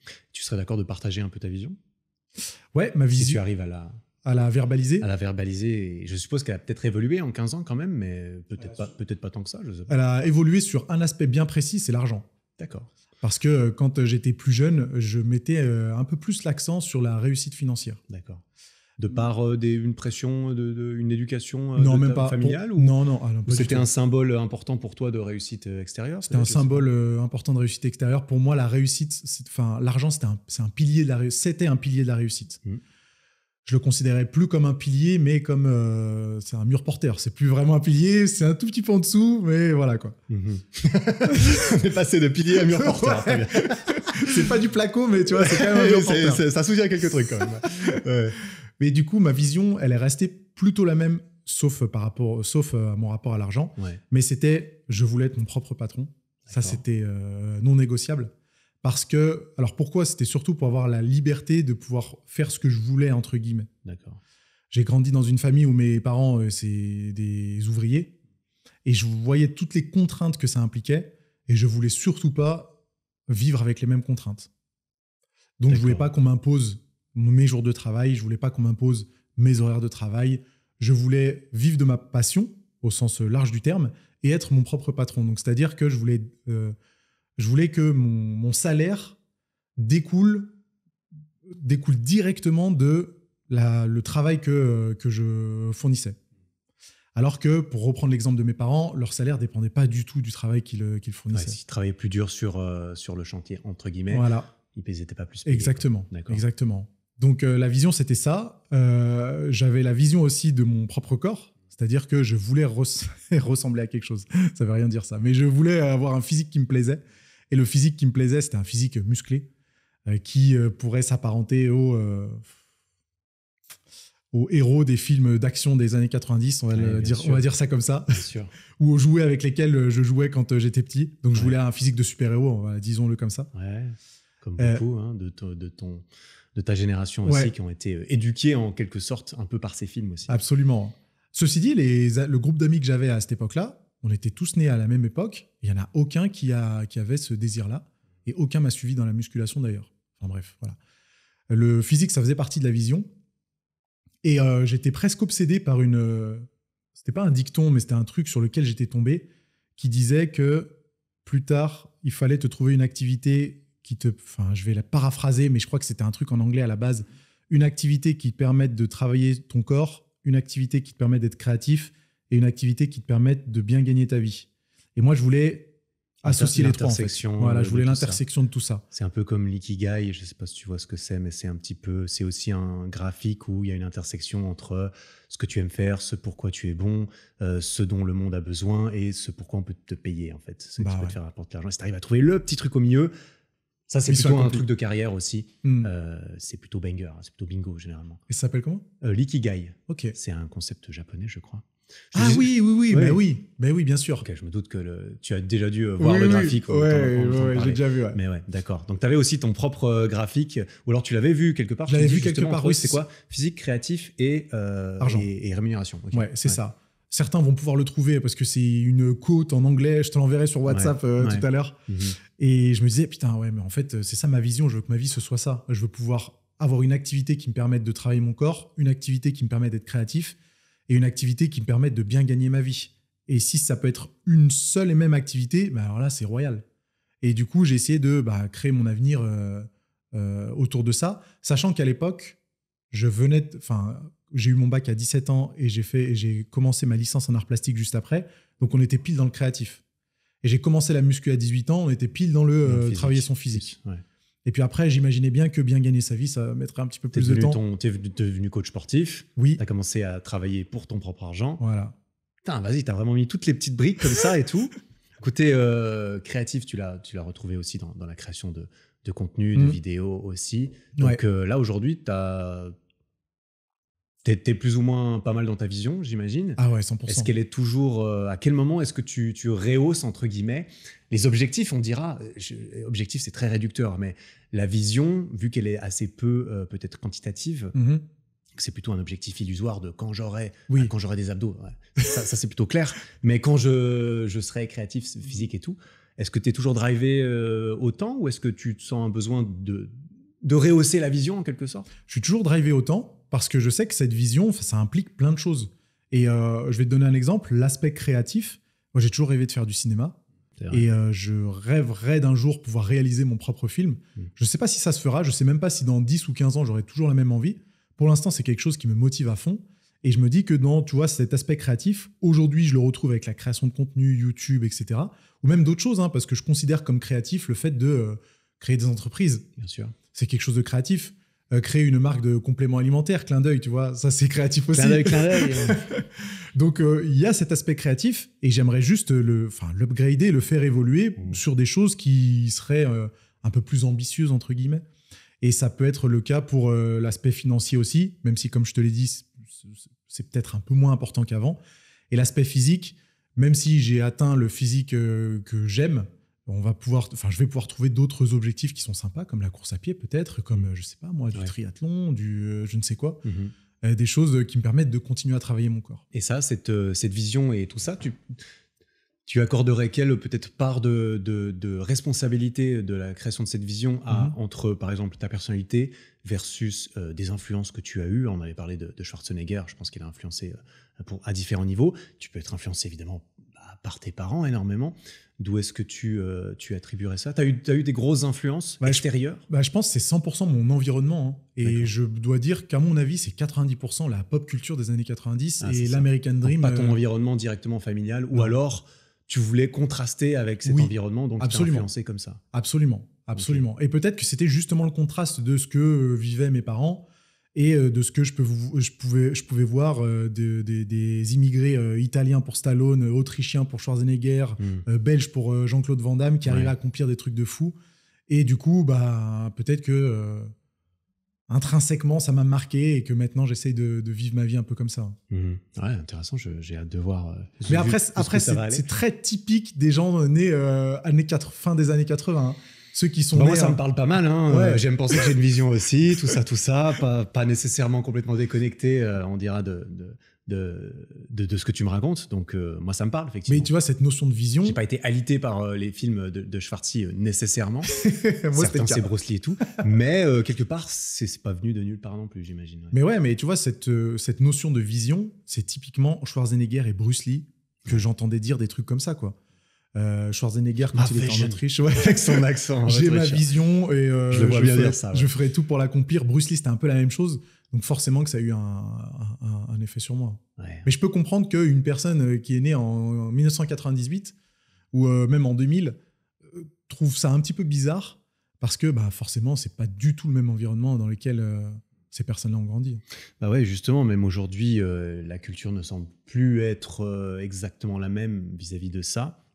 Euh, notamment. euh, Plus exactement, t'es gentil, hein, c'est l'opposé. c'est l'opposé. c'est l'opposé. Bah justement, euh, Bruce Lee et Stallone, bon, c'est vrai que c'était peut-être plus la caricature de la cari- ce qu'on aurait envie de caricaturer, ce qu'on entendrait caricaturer aujourd'hui comme étant, ah bah du coup, euh, bah, c'est quoi C'est un gros tas de muscles qui tire à la mitraillette dans, dans les ennemis, qui casse tout. Et puis c'est très à l'américaine en mode, euh, euh, bah, tout dépend de toi, etc. Ouais. Vas-y, faut être fort, faut être Ouais. Et ça, ça, ça me fait penser à quelque chose qu'on entend plus ces derniers temps, il n'y a, pas- y a pas de doute, c'est le terme de masculinité toxique. Ouais. Qu'est-ce que ça t'évoque ce, ce terme quand tu l'entends Parce que tu as dû l'entendre passer?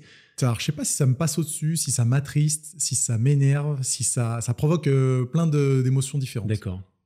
Pas spécialement positive. Pas spécialement positives. Parce que pour moi, enfin, juste la, masculin- la, masculin- la masculinité, pardon, elle a rien de toxique. Hmm. Je me suis jamais, euh, je me suis jamais euh, considéré comme euh, quelqu'un de toxique. Et je me considère comme quelqu'un de masculin. Ah, c'est vrai ouais. D'accord. Première nouvelle. Première nouvelle. Donc pour moi, je enfin je comprends pas d'où ça peut venir. Et j'avoue que j'ai toujours associé que des traits de caractère positifs au fait de euh, développer tous les caractères masculins. Mm. Pour moi, ja- j'ai jamais considéré ça comme négatif d'être plus musclé, d'être plus viril entre guillemets, euh, de vraiment développer toutes ces caractéristiques euh, masculines. Donc c'est un peu de l'incompréhension de me dire on- on considère ça maintenant comme quelque chose de toxique. Mhm. Alors après, est-ce qu'on considère vraiment les muscles et euh, tout ce genre de choses comme réellement toxiques ou est-ce que la mas- masculinité toxique, c'est d'autres choses euh, comme, euh, comme quoi d'ailleurs? Bah, je, ouais. J'ai l'impression que peut-être ce qu'on pourrait décrier, décrier comme euh, mettre sous l'égide de, de la masculinité toxique, c'est les comportements violents, agressifs, abusifs, tyranniques, peut-être, euh, qui sont ensuite, je, par, je- je- plus souvent, peut-être attribués de façon stéréotypée à quelqu'un qui serait musclé, Mhm. un homme, hein, bien sûr, musclé, fort, puissant, euh, Qui serait a- a viril, des en moyens, fait. des moyens financiers, viril. Mais euh, comment est-ce qu'on comment est-ce qu'on pourrait faire du coup pour éviter ce genre de raccourci? Parce que euh, moi, ça, ça m'attriste aussi un petit peu de me dire que certains attributs qui sont pas là pour rien non plus, je Mm. pense, et qui ne sont pas intrinsèquement mauvais, j'aime penser, c'est pas parce que tu es musclé que tu es Bah, violent pas. ou Bah, non. agressif. Bah non, J'aime penser, hein, après peut-être me trompe, je, Je pense pas que tu te trompes pas. Je, je sais pas, mais comment est-ce qu'on en vient à faire ce genre de raccourci et, et comment délier, délier ces, ces deux choses qui euh, sont des raccourcis euh, qu'on critique à plein d'autres euh, endroits. hein. Ouais. Il y a plein de raccourcis, de stéréotypes un peu racistes et tout. Euh, Ceux-là, on les combat activement. Là, j'ai l'impression que c'est le traitement est différent. Tu... Bah, déjà, c'est un peu symptomatique de l'époque où il y a plus trop de nuances et tout est assez extrême. Donc euh, forcément, on va pas nuancer les, on va pas nuancer notre avis ou nos propos lorsqu'on est confronté à une personne qui est euh, très musclée, qui est très virile, qui est très assumée, qui est euh, parfois autori- autoritaire. L'autorité, je considère même pas comme ça comme quelque chose de mauvais. hein. On peut être autoritaire, mais être très respectueux envers les autres. Euh, je pense que c'est surtout symptomatique du fait qu'on n'a plus trop de nuances et que c'est tout de suite soit très très mauvais, soit très très bon. Et il y a vraiment l'opposition l'opposition entre les deux. Mais encore une fois, je trouve ça très surprenant parce que vraiment, en grandissant, j'ai jamais eu cette impression, en développant ma masse musculaire, de me dire euh, c'est pour euh, tyranniser mon entourage, c'est pour, asservir toutes les personnes à qui je serais confronté.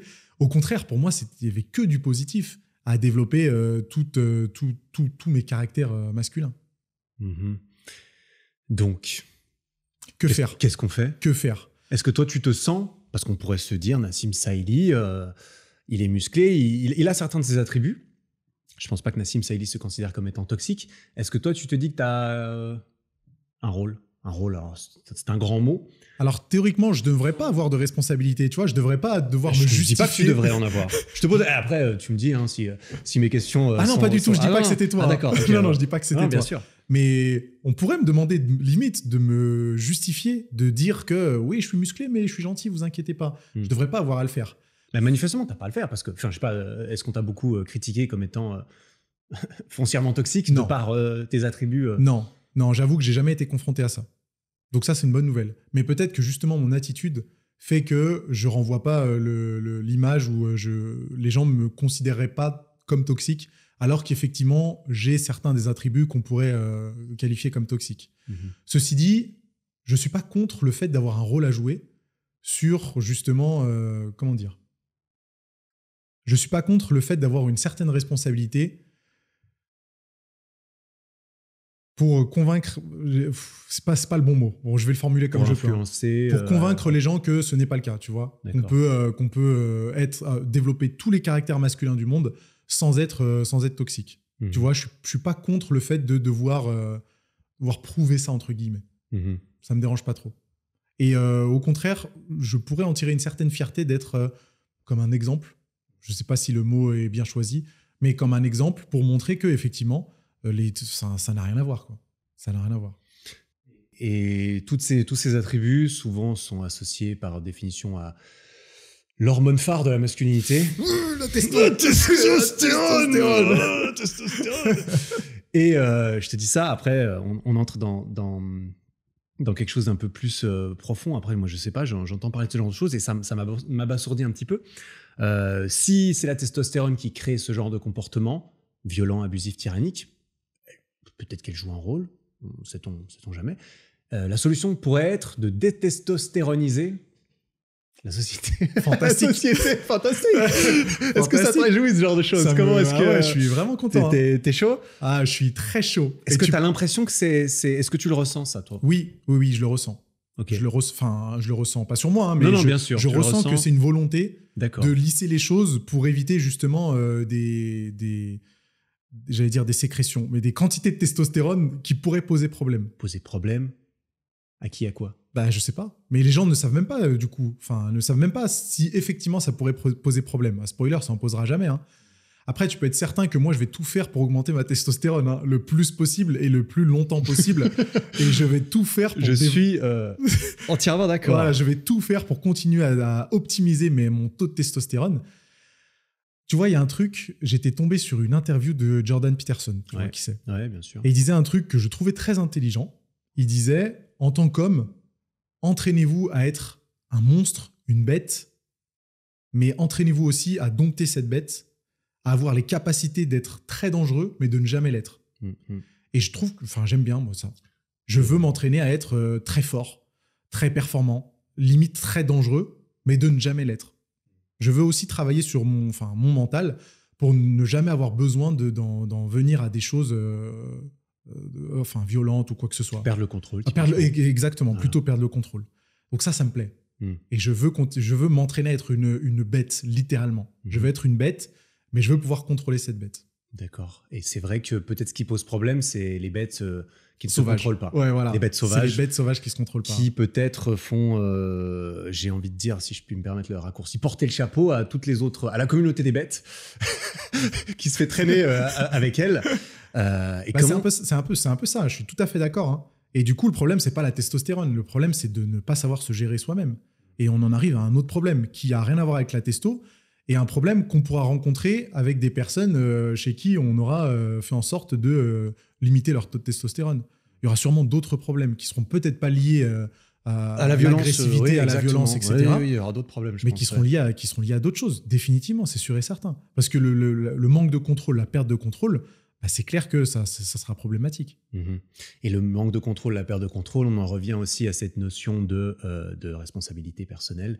Quelque part, euh, en, en gros, si tu refuses le contrôle de quelque chose, c'est Mm. que tu refuses les responsabilités des conséquences de ce euh, pourquoi tu ne prends pas de contrôle. En fait. Absolument, absolument. Et ça, c'est ça, c'est dangereux. C'est dangereux. Comment est-ce que toi, tu cultives ce côté de hum, d'apprivoisement de la bête, de la bête euh, intérieure Est-ce qu'il y a, est-ce que tu vois ça? Est-ce qu'on pourrait euh, aider, à inculquer, euh, apprendre, sensibiliser, je sais pas, les bêtes sauvages à se dompter elles-mêmes ou, ou- ou pas? Je sais pas. Là, franchement, je pense que c'est au-delà de mon domaine d'expertise. Donc, je saurais pas, Ouais, je saurais pas comment donner des conseils qui pourraient être applicables, concrets et qui euh, qui seraient pas trop trop délirants.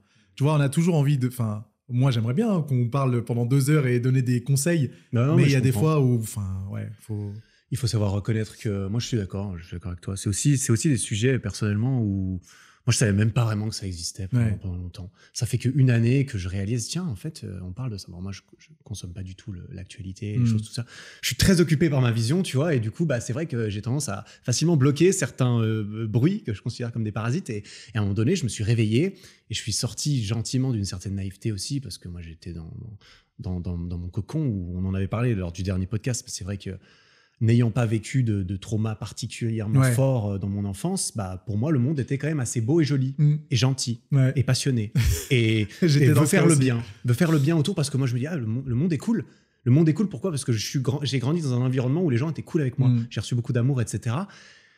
Et quand je sors la tête de chez moi, je dis, ah bah non. ah bah merde c'est pas exactement Oh ça. putain, mais quel... on est dans un film, qu'est-ce qui se passe? Le Truman Show, évidemment, c'est pas la pas la faute des gens qui ont pas reçu de l'amour. Euh, euh, si seulement ça, ça venait ça venait de là.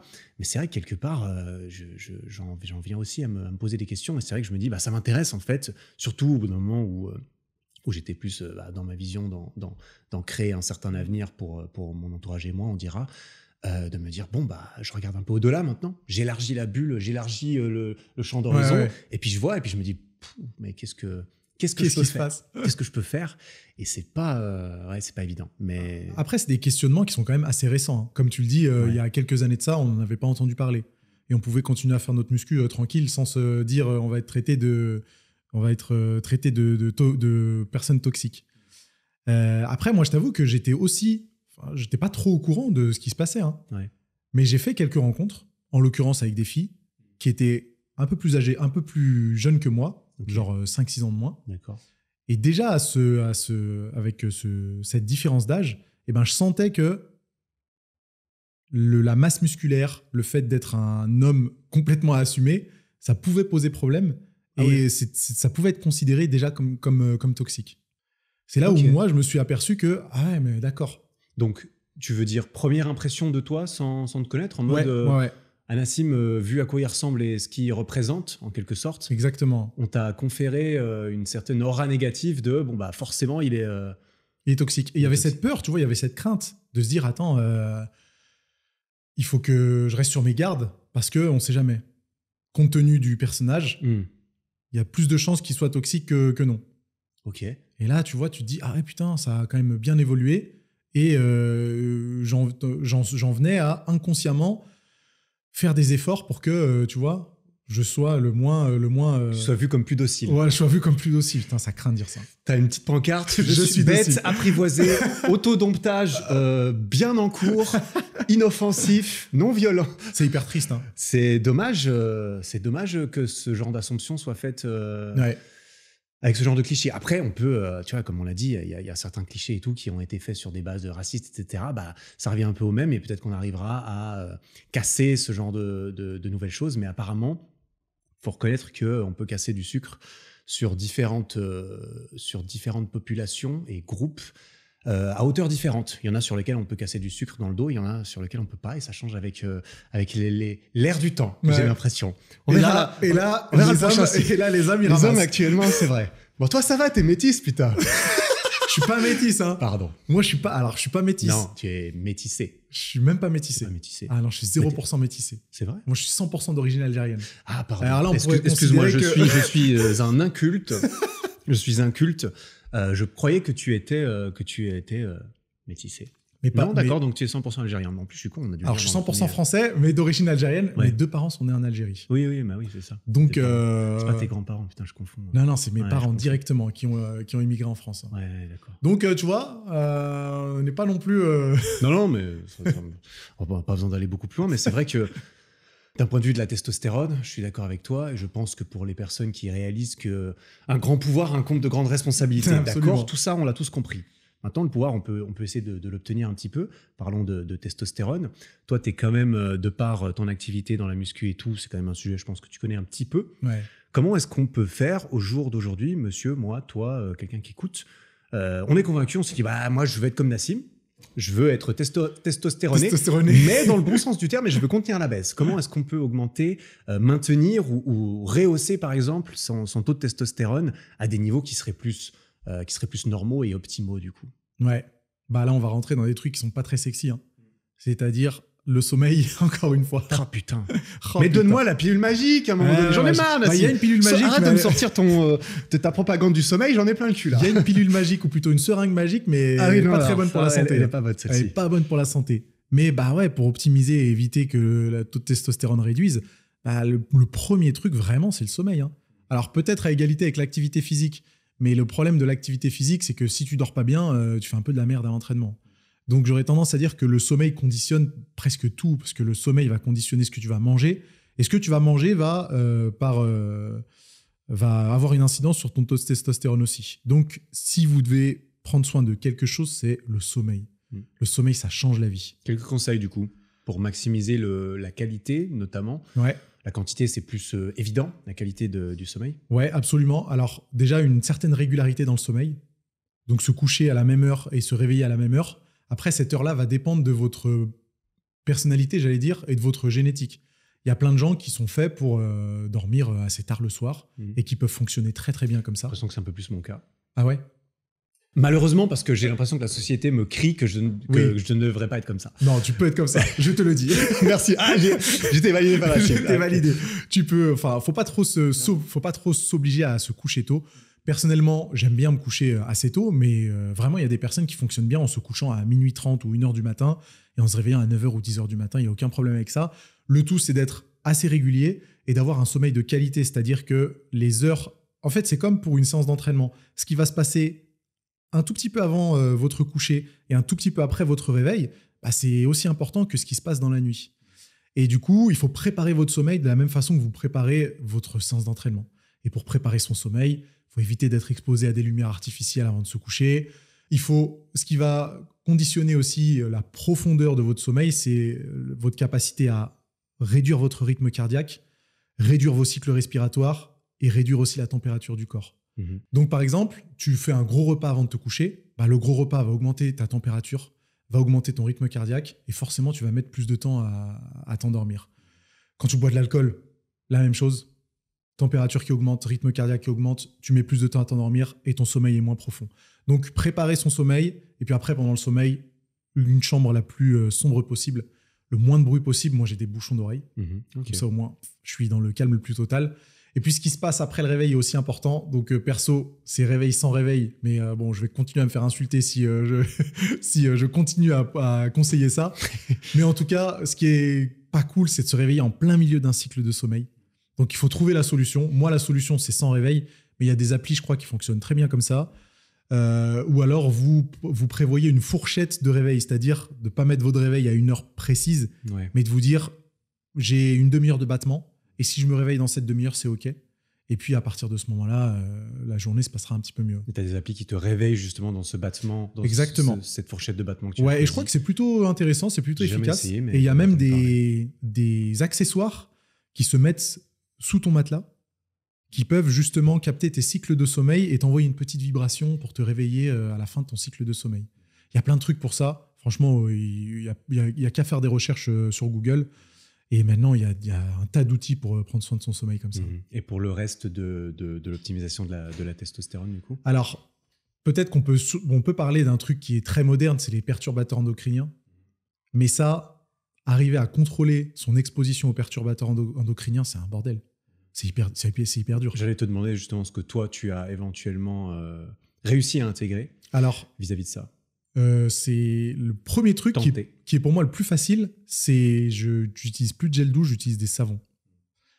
Euh, pour éviter qu'il y, ait- trop de produits chimiques, trop de perturbateurs endocriniens, endocriniens pour le coup, que tu fous sur ta peau qui peut avoir une incidence directe sur ta testostérone. Ta peau, c'est un organe, elle va absorber des Absolument. trucs. voilà, c'est pas magique. Absolument.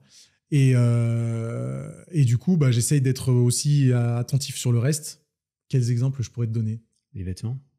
Ah, Les vêtements, c'est trop dur. Ouais. Ouais. J'aimerais bien hein, pouvoir te dire euh, que je suis très attentif à ça. hein, C'est chaud. c'est- hein. C'est trop dur. C'est aussi un des trucs, t'entends parler, je me dis, bon, bah, qu'est-ce que je fais Ouais, Euh, ouais. Je les fabrique moi-même, euh, je les lave 14 000 fois avant de les mettre. Mais ouais, que faire? Que faire? Alors, c'est effectivement ça, c'est c'est censé avoir une influence, mais que faire? Après, le truc le plus simple, c'est quand même de surveiller ce qu'on mange, parce qu'il y a des pesticides qui sont des perturbateurs endocriniens très clairs, ouais. et d'éviter d'y être exposé, ça, ça peut faire, euh, ça peut peser dans la balance. Mhm. Et qu'est-ce qu'il y a encore Les ondes? Tu, as considéré ça Scientifiquement, tu as été convaincu? Bah, j'ai écouté euh, notre ami à tous, euh, Andrew Ouais. Huberman, Ouais. qui disait dans un de ses podcasts que les fréquences étaient tellement faibles que normalement, ça devrait pas avoir d'influence. Mais est-ce qu'on a assez de recul? Peut-être que dans 50 ans, on va se retrouver avec des études qui disent que, euh, le Bluetooth, le Wi-Fi, la 5G et tout ce que tu veux, c'était pas terrible pour, euh, la santé et, et les hormones. Donc euh, ça, je t'avoue que, pareil, c'est comme les vêtements. Je suis un peu bloqué Ouais. et je sais pas comment... euh, Tu n'as pas de coffre en plomb à l'entrée de chez toi dans lequel, Ah, dans lequel tu mets ton Liver King. tu vas pas te- te- t'exposer les, euh, les coronesses au soleil pour euh, augmenter la, la testo tous les matins? Non, J'ai une lumière rouge de- hein, chez moi quand même. Ah, hein. moi aussi, j'en ai une, ouais, bien sûr. que crois-tu Que crois-tu? J'écoute des podcasts aussi. J'ai une putain de lumière rouge, bien sûr. Ah putain. Euh, ouais, ouais, ok. Donc on, on en est là. Et puis bien entendu, l'activité physique, le, le- la musculation. Ouais. C'est pas dégueulasse pour la testo. Bah ouais, bah, ce qui est à la portée de tout le monde, quand tu regardes bien, c'est le sommeil, la bouffe et l'entraînement. Ouais. Et déjà avec ça, on a une grosse, grosse partie de l'équation qui est résolue. Alors c'est clair que si on pouvait ajouter les produits euh, cosmétiques, euh, les ondes, le déodorant, euh, les vêtements, etc., ce serait génial. Mais bon, c'est un peu, je pense que c'est un peu utopique. C'est un peu overkill. euh, Ouais, c'est un, c'est un peu overkill comme tu dis. Le, le tout, c'est de, d'essayer de. tout, de tout vouloir, euh, surtout tout vouloir implémenter ou quoi. Toi, tu écoutes ce podcast, forcément, bah, après on le sait, tu vas pas pouvoir euh, tout faire. changer à 180 degrés ta vie, Ouais. euh, ton sommeil, tes, tes courses, ton truc, surtout quand tu con- contrôles pas complètement ce que tu achètes ou Ouais. consommes. Ça, c'est encore, encore une autre histoire. Une autre histoire. Je me demandais quelque chose, ça, ça me vient comme ça. Est-ce que toi, tu as déjà eu des, des addictions? Est-ce que tu as l'impression, qu'elles soient bonnes ou mauvaises, typiquement? Est-ce que tu t'es déjà senti ou reconnu un tant soit peu accro à quelque chose Le sucre, ouais. Le sucre. ok. La bouffe, Ouais. les pâtisseries, Ouais. 100%. D'accord. C'est le truc sur lequel je pourrais considérer perdre le contrôle. D'accord. Dans le sens où euh, tu me donnes un truc, euh, un truc que j'aime bien, euh, je vais en manger beaucoup. Mhm.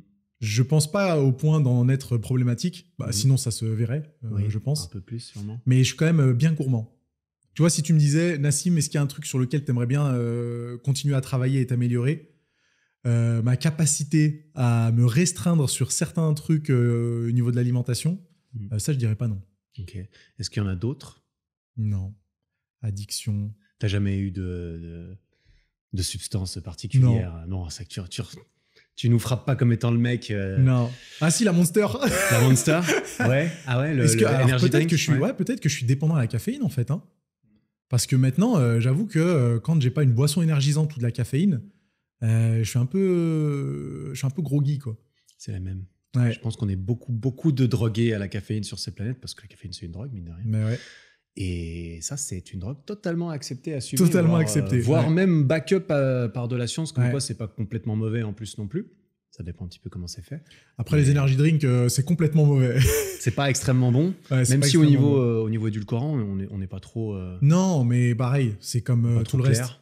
C'est comme tout le reste. Le enfin, ce serait quand même mieux de pas en consommer parce qu'on Ouais, sait très ouais, bien ouais. qu'il y a une petite part d'inconnu, même s'il faudrait y aller comme un bourrin pour que euh, pour qu'il y ait des effets euh, négatifs.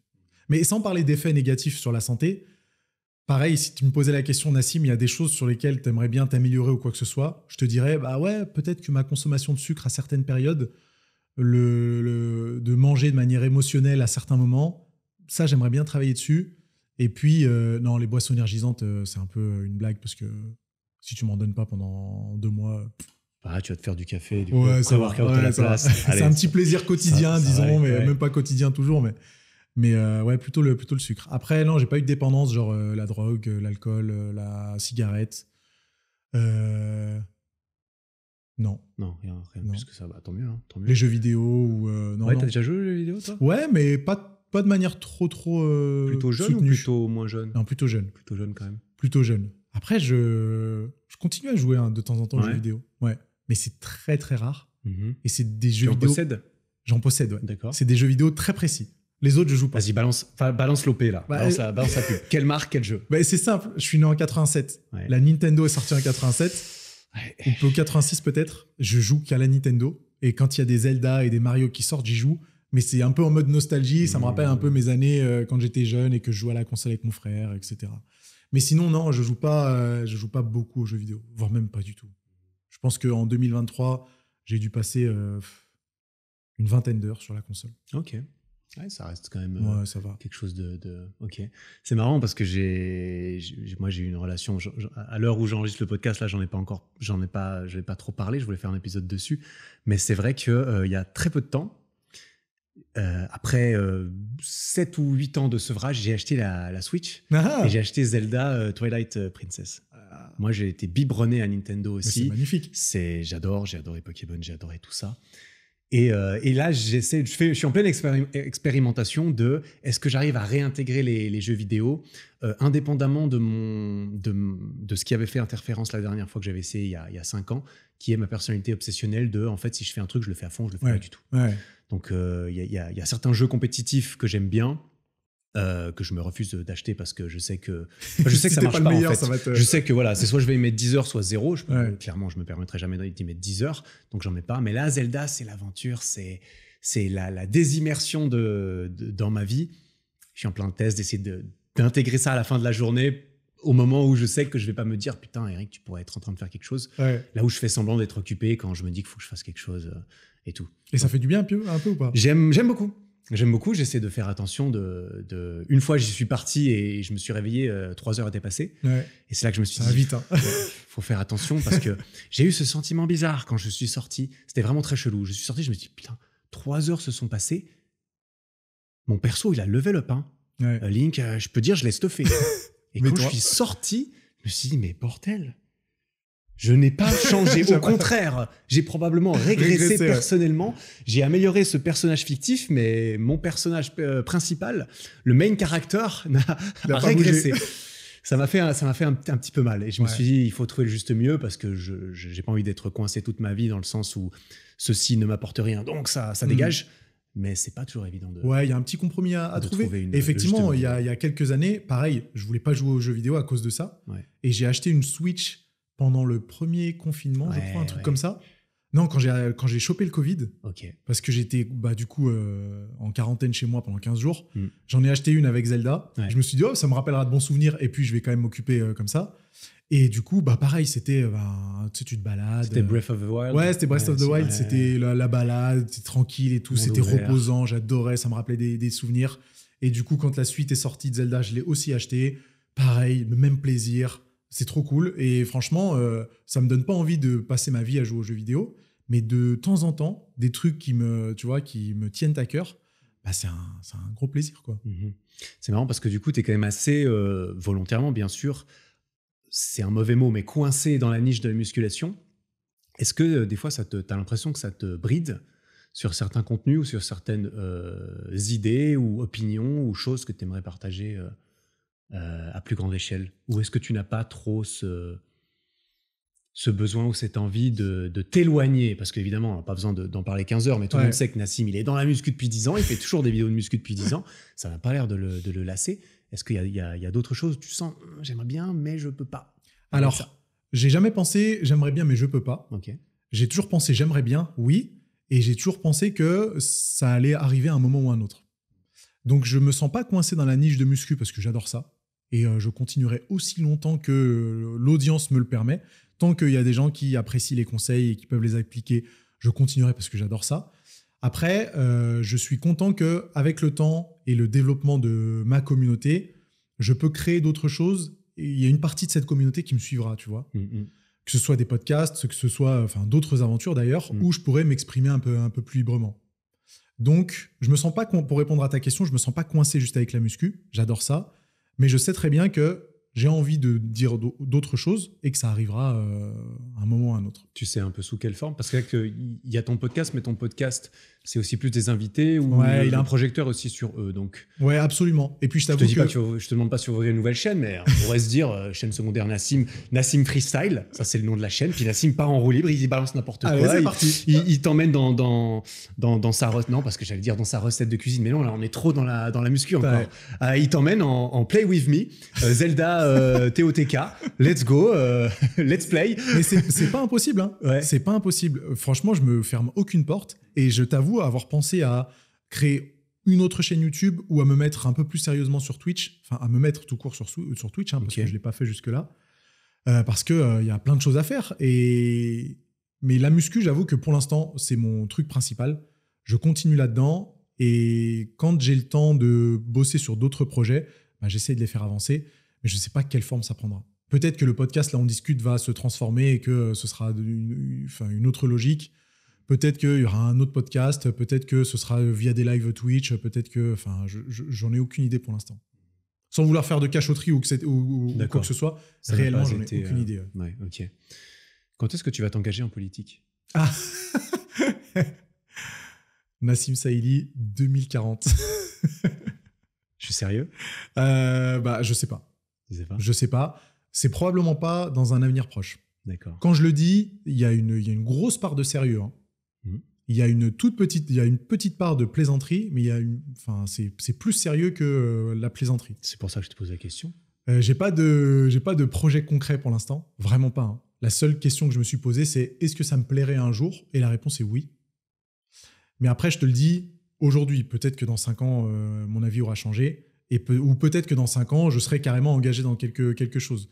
Franchement, j'en ai aucune idée, mais l'idée me plaît en tout cas. L'idée de pouvoir contribuer au, au bon fonctionnement de, de, de- de la société, de mon pays, ou, ou même plus, j'en sais rien moi. Mm, mm. C'est quelque chose qui me, qui me plaît et qui me motive bien.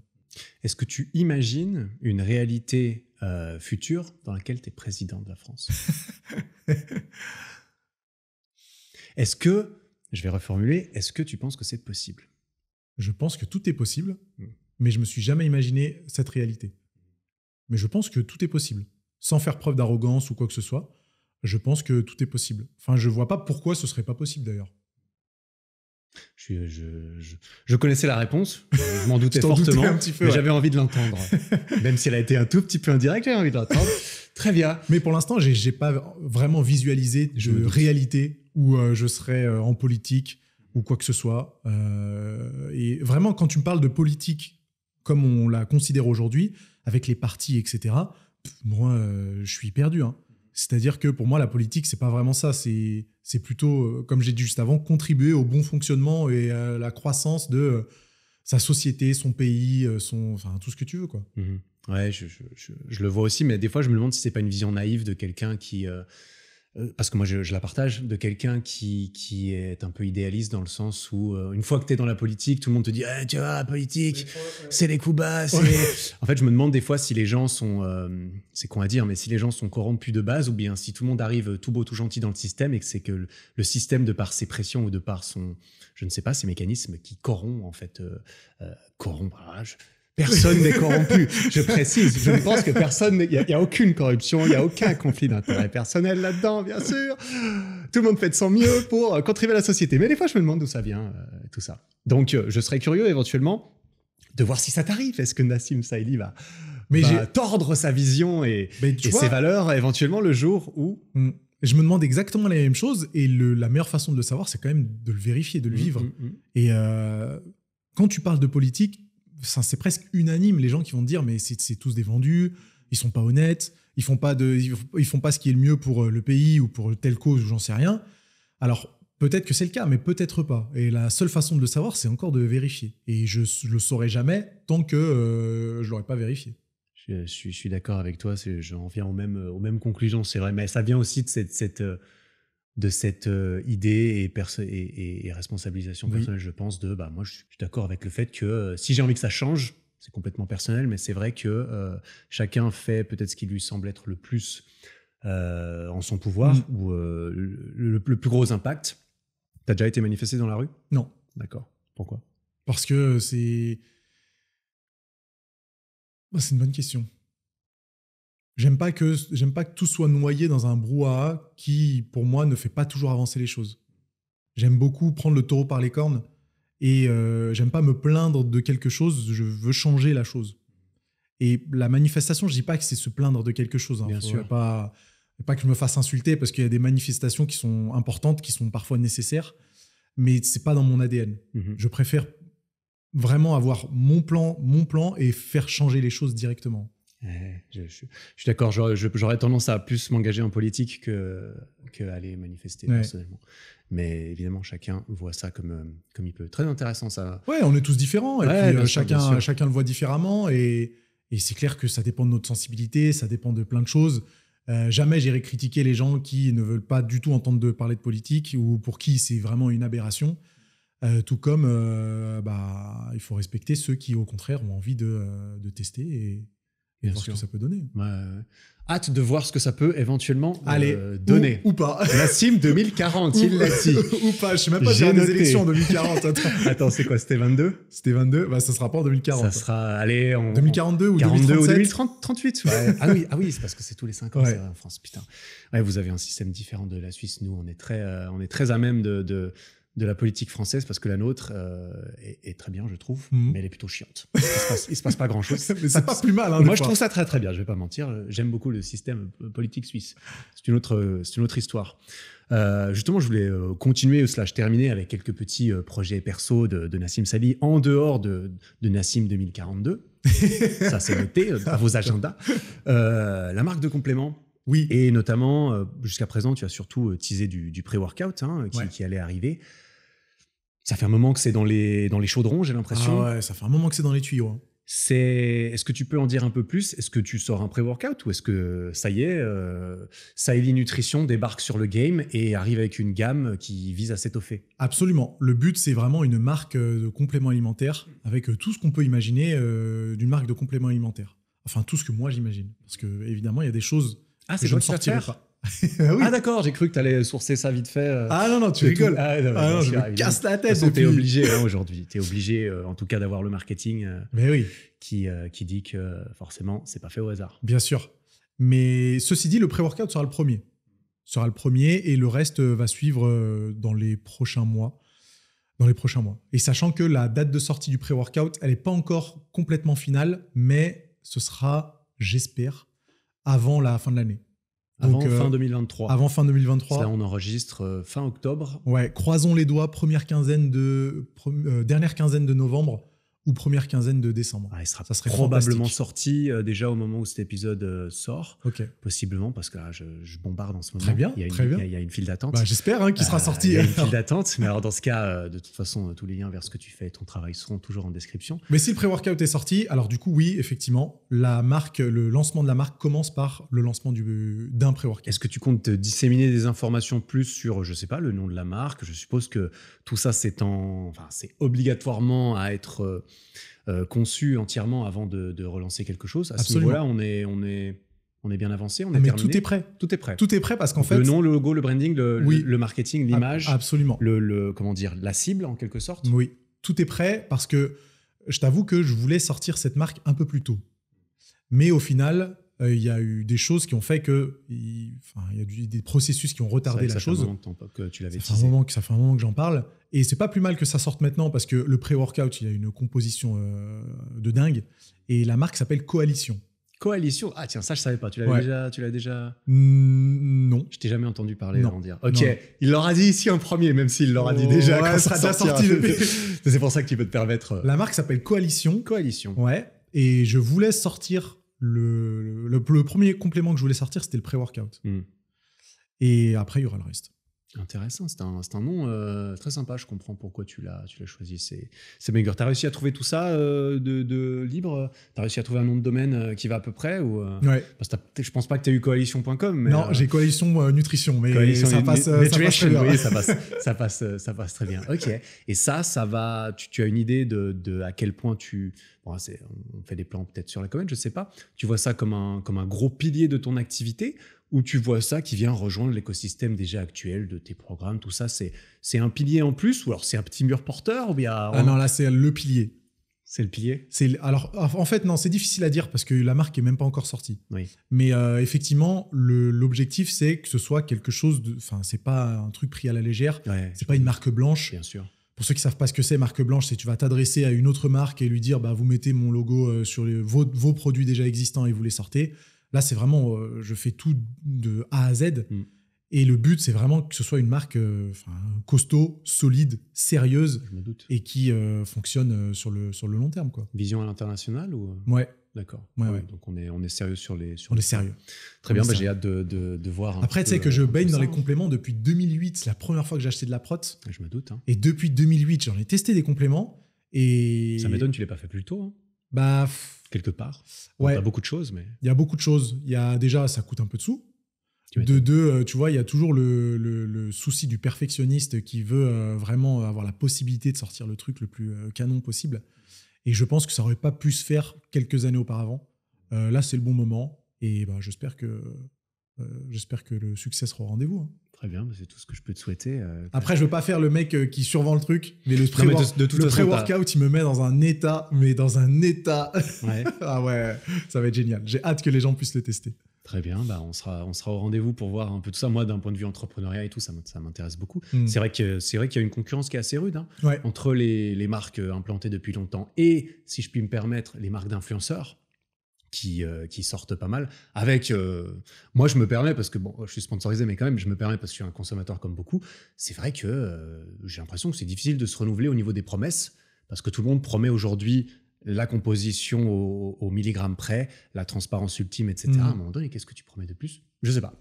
Euh, bataille de marketing. Après, Nassim a une énorme euh, renommée et crédibilité et tout, donc je suppose que tu te Je pense que ça, que ça tu va vas jouer. aider ça pour pas avoir à, à mettre le même budget euh, que, que d'autres marques qui ont qui ont bah, elles ont toutes leurs influenceurs maintenant Ouais. mais qui, qui n'ont pas la grosse tête d'affiche qui, qui représentent mais c'est vrai que Ouais. tu débarques dans un game sacrément compétitif Sacrément compétitif, mais tu vois, si, euh, si jamais j'étais pas convaincu de pouvoir apporter quelque chose qui est, mine de rien, euh, intéressant, un peu différent et novateur, je l'aurais pas fait. Et là, pour le coup, pour beaucoup de compléments, il y a encore des choses à faire parce que tu remarques que, euh, certes, alors je voudrais pas euh, parler en mal d'autres marques de compléments alimentaires parce que elles ont toutes leur approche.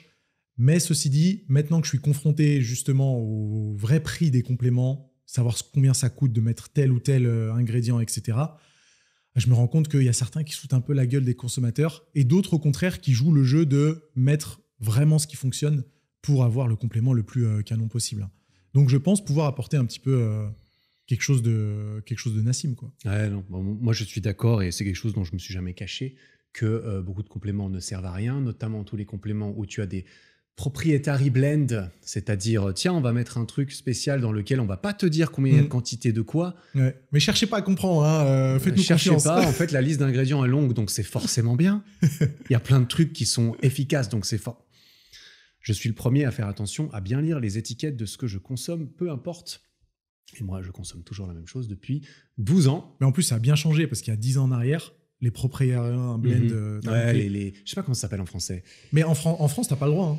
T'as pas le droit, mais il y, en- il y en a quand même. C'est quand, quand dans les ingrédients, tu as un nom avec un petit R, euh, trademark ou je Mhm. ne sais quoi, puis euh, là, t'as pas la composition exacte quand même. Ouais, mais ça c'est normalement euh, ça devrait pas ça devrait Ouais. pas exister en France. Bon, il y a- il y, a des contournements, j'imagine. Ouais. Mais ouais. Il y en a des contournements. Ah, Ça, tu crois? Ah bah ça je peux te le dire. Ouais. Très bien. Bon, on verra. Et pour euh, un prochain objectif éventuel sportif, Ouais. est-ce que tu as quelque chose que tu, euh, que tu préchotes comme ça un peu, que tu es prêt à partager, ou c'est flou et pour l'instant, j'ai mon, j'ai ma muscu, j'ai mon cardio, advienne que pourra, on verra si je me fixe un, un challenge différent, tu vois, pas nécessairement de l'ampleur entre guillemets du marathon, mais un truc qui vaille la peine d'être. Euh, déjà, là, actuellement, alors euh, bah, ça dépend de quand de l'épisode va sortir, mais là, Ouais. actuellement, j'ai une petite transformation où je vais descendre à 10% de masse grasse. Ouais, Donc vu, ça, c'est le pur muscu. Et puis après les 10% de masse grasse, on verra ce qui se passera. Mais il n'y a pas d'objectif euh, euh, après ça. Et pour la course à pied, la- le prochain truc, j'aimerais bien le faire avec mon frère. On en discute depuis un petit moment. Hmm. Sachant que mon frère, il est enfin, très sportif, il a un très bon cardio, même s'il court un peu moins euh, aujourd'hui. Il a tellement fait de sport dans sa jeunesse qu'il a une VO2 max incroyable. Et du coup, on aimerait bien faire un truc tous les deux pour le prochain, euh, pour le, le- C'est-à-dire, sous quelle forme à peu près? Un Bah, truc de relais ou un Ouais, un, truc, un euh, truc de course à pied, Ce- soit de courir un Ah, marathon juste tous les courir deux, ensemble, voilà, d'accord, soit ok, euh, ouais. je sais pas moi faire un Ironman tous les deux, mhm. soit on a vu un truc qui était sympa, c'est comment ça s'appelle? Le backyard ultra. Je sais pas si t'as déjà vu. Je, je... Oui, oui, t'inquiète, Ouais. pas, j'ai vu. T'inquiète pas, j'ai vu. Ça, ça a l'air pas mal. Ça a l'air incroyable. Ça a l'air pas mal. Et avec mon frère, on s'est dit, bah vu que on est un peu des David Goggins, euh, Fais-le avant moi, comme ça, je sais ce que je dois battre. Et je suis sincère, je suis sincère, je suis sincère. mais pour ceux qui savent, on explique vite Ouais, ce que c'est un backyard ultra. bah, je te laisse à toi l'honneur. C'est une course, enfin c'est un, pourrait considérer, considérer ça comme un ultramarathon entre guillemets. C'est un ultramarathon. C'est un ultramarathon où tu as une distance précise. Ça dépend du backyard ultra, mais je crois que c'est 5 miles pour la C'est toujours la plupart. même chose. Ah, c'est toujours pareil Ouais, l'idée c'était que euh, euh, tout- toutes les heures tu cours 4,16 euh, Ok, bah, c'est ça. 66 miles. Ça doit être 6 Parce que l'idée c'est qu'en ça. 24 ça fasse 100, tu vois. Donc c'est Ah. 100, c'est 100 divisé par 24. Ah bah On voilà. arrive à 4, quelque chose. Ah, tu vois, t'es mieux renseigné que moi. 6,5 km. Ouais. Je sais ce que je sais ce que c'est. ouais. Bah, du coup, il faut courir euh, 6,5 mètres euh, à chaque début d'heure. Et tout ce qui te reste, bah, c'est ta récup en fait. Donc si tu cours 6,5 km en euh, 30, 35 minutes ou 40 minutes, tu as 20 minutes de récup avant de repartir pour la même distance. Et tu fais un maximum de tours possible.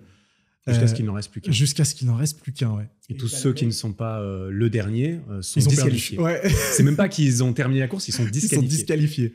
Et t'as des mecs qui font combien euh, 36, 40 tours Le euh, record du monde a été battu il y a pas longtemps par deux, parce que t'es obligé d'être deux pour battre un record. Parce que dès qu'il y en a un qui abandonne, le dernier il aurait pu continuer, mais il continue pas. C'est la règle. Ils ont fait 102 tours, quelque chose comme ça. Oh C'est genre 100. 600 km. Wow. Attends, ça fait combien de jours ça?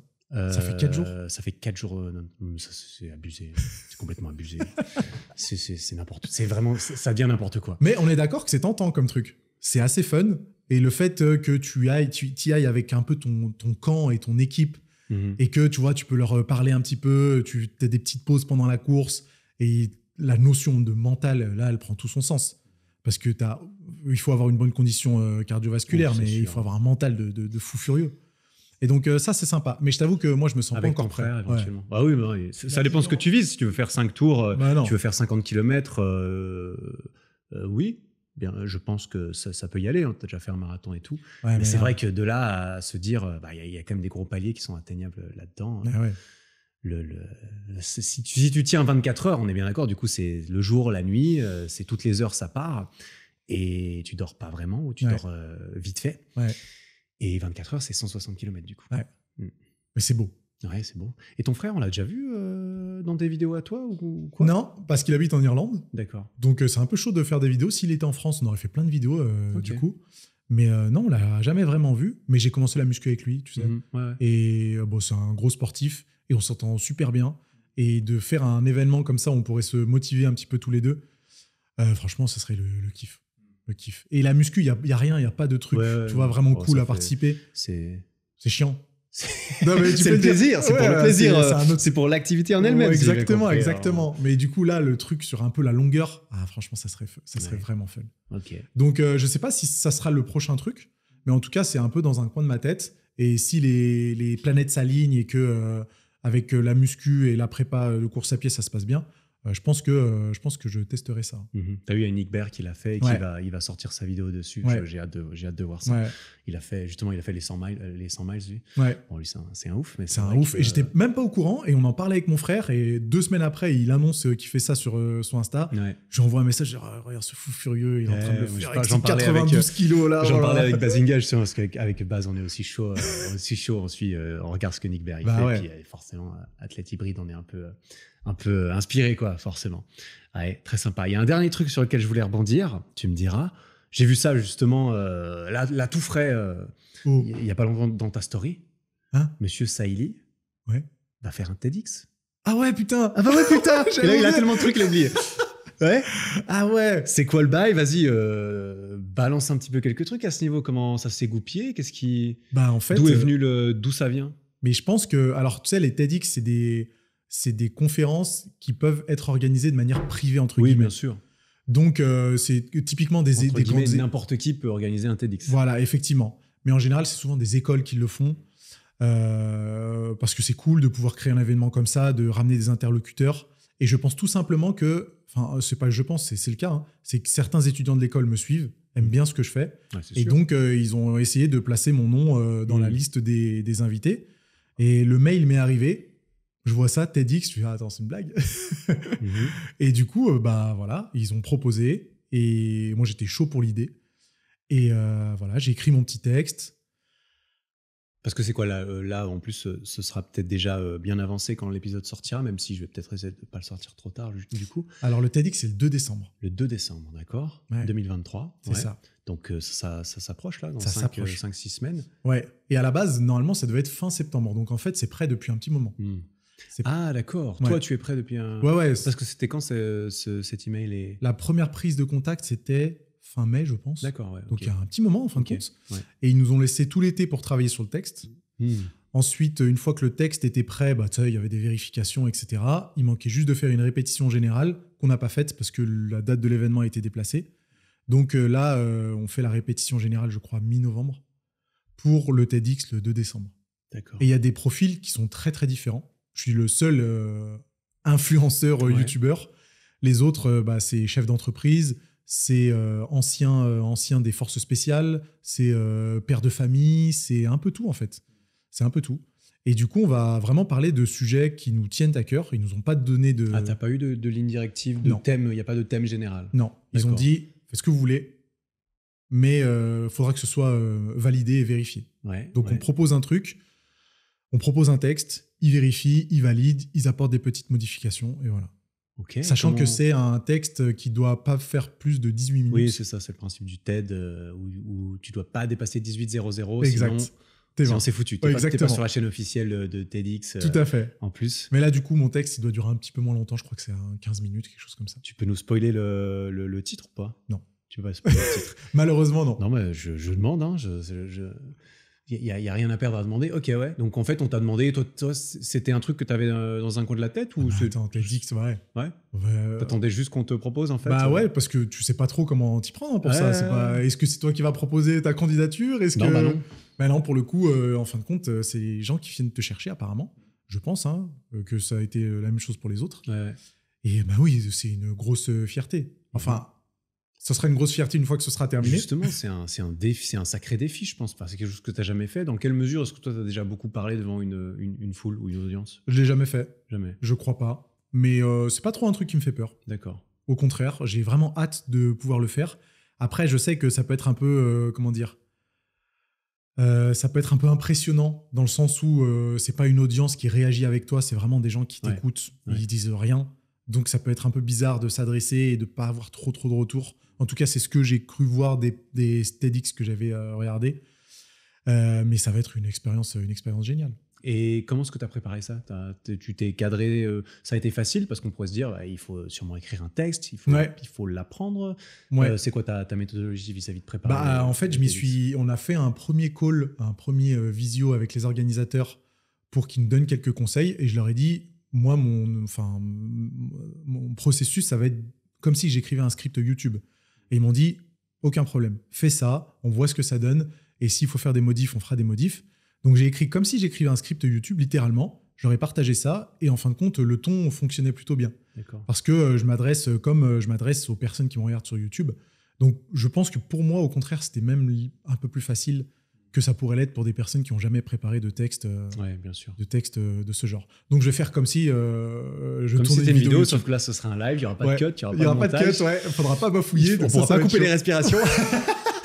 si ça réfléchit 5 secondes, il n'y aura pas Ouais, de. C'est ouais. no cut. Donc il va falloir. Il y, a quand même un, il y a quand même un peu de pression. Il y a un peu de Un pression. d'appréhension. Ouais, il y a un peu d'appréhension, mais euh, je suis pas trop du genre à m'inquiéter de ce qui pourrait se passer mal. Au contraire, je suis plutôt à me réjouir de ce qui pourrait se passer bien. Et ce qui se passera bien, c'est que je vais être sur une scène avec TEDx en rouge derrière moi. Je serai bien sapé, tu vois. Je Ah serai un bah, peu sur mon faut. 31 parce que bon, ça va être immortalisé. Euh, je pourrais montrer ça à ma famille, à mes Mhm. parents. Mon frère est tout content, ma sœur est toute contente. Euh, C'est que du bon, quoi. Trop bien, bah, on a hâte de voir, on a hâte de voir ça. En tout cas sur la chaîne euh, officielle. Je ne sais pas dans quelle mesure toi tu, en- tu créeras du contenu à ce propos, mais en tout cas sur, euh, sur TEDx officiel. Ouais, ça sera publié dessus. qu'on aura Nassim Saïli, deux points, le titre dont on ne connaît pas encore. Est-ce que ça sera de la muscu ou autre chose On verra. Et euh, ouais, c'est sympa. Plein, Ouais. de, plein, de, plein de, de projets quand même qui arrivent, euh, mine de rien. Ouais, ouais, j'avoue que, j'avoue que bah, c'est cool et j'espère que tout va bien se goupiller. hein. Très bien. Bah écoute, Nassim, merci beaucoup d'avoir pris du temps pour venir discuter un petit peu avec moi, avec, euh, avec euh, nous. Du coup, j'espère que ça aura, ça aura euh, profité à tout le monde. Bah ouais, j'espère aussi. J'ai l'impression que le soleil s'est couché. Le hein. soleil s'est couché, j'avais ajusté un peu les caméras, mais bon, on a, on on a même pas fait trop, euh, on n'a pas fait trop trop long, un petit peu moins de deux heures, ça, ça va très bien. Euh, je, je profite pour rappeler à nouveau 5 étoiles sur euh, le podcast si jamais ça vous plaît. Tous les liens vers euh, ce que Nassim aura mentionné sont dans la description, tes réseaux, voilà, parce qu'il faut lui faire un peu de pub. Allez vous abonner. Putain, mais vous plaît. hein. t'as bientôt le million Ouais, bientôt. Ouais. Et alors, comment tu vois le truc? Ça a été un objectif pour toi ou c'est juste Non, non, Oh, franchement. un ah, le trophée, je vais même pas l'ouvrir. fin. Ouais, franchement, c'est pas. Non, c'est c'est pas. Parce qu'au contraire, j'ai une phobie. J'ai de- une phobie, c'est de dépasser le million et que la chaîne commence à réduire. Parce que tu- enfin, je pense que tu as déjà vu des chaînes qui ont plus d'un million d'abonnés, mais qui font plus de vues. Euh, Est-ce que tu pas. penses que c'est euh, c'est juste de leur implication à eux ou c'est un, un autre effet J'en ai aucune idée. Ouais, tu sais pas. Peut-être qu'une fois que tu as un million, tu es considéré comme mainstream, du coup, ça, y est, on n'a plus envie de regarder. Il est plus underdog, euh, Nassim. Bon, Ah, voilà, ça plus underdog depuis un moment, hein, si je Mais- peux me permettre quand même. Mais Ouais, bah, J'espère que ce sera pas le cas, mais en tout cas, non, le million. euh, Je ferai quand même une petite soirée pour. une petite pour soirée quand même. Ah, quand même. Il y a quand même un petit. euh, on va quand même On marquer va le quand même fêter ça, mais sinon, non, c'est pas, c'était pas un objectif euh, particulier. Très bien, bah, c'est c'est quand même, c'est quand même euh, assez admirable. Merci encore de- d'avoir passé Bah, avec plaisir pour petit l'invita- moment ici. Merci pour l'invitation. hein. un grand plaisir. Et puis, on se recroise tout bientôt, j'espère. Et- Je reviens quand tu veux. Tu sais que ce podcast, j'adore les discussions. Ah, putain, donc, euh, C'est parfait. donc euh, je suis chaud. moi. C'est parfait. Et tu as une, une- un dernier truc, ton podcast, là on discute, est-ce que tu as une, une éventuelle euh, Malheureusement, date de euh, reprise ou pas? Malheureusement non. D'accord, Je vais pas euh, faire genre j'ai des épisodes euh, qui ont déjà été préparés. C'est pas le cas. d'accord. Et comme on en parlait en off, euh, je pense que j'essaie de trouver le- le- l'environnement pour filmer tout ça. Ouais. Et quand ce sera le cas, euh, je pourrai reprendre assez régulièrement. Mhm, très bien. Bah, Il y a aussi le podcast de Nassim, sur lequel il y a un épisode avec moi d'ailleurs. Et oui, Très bien. Merci encore pour tout. Merci, Eric. À bientôt. à plus. Ciao. Ciao.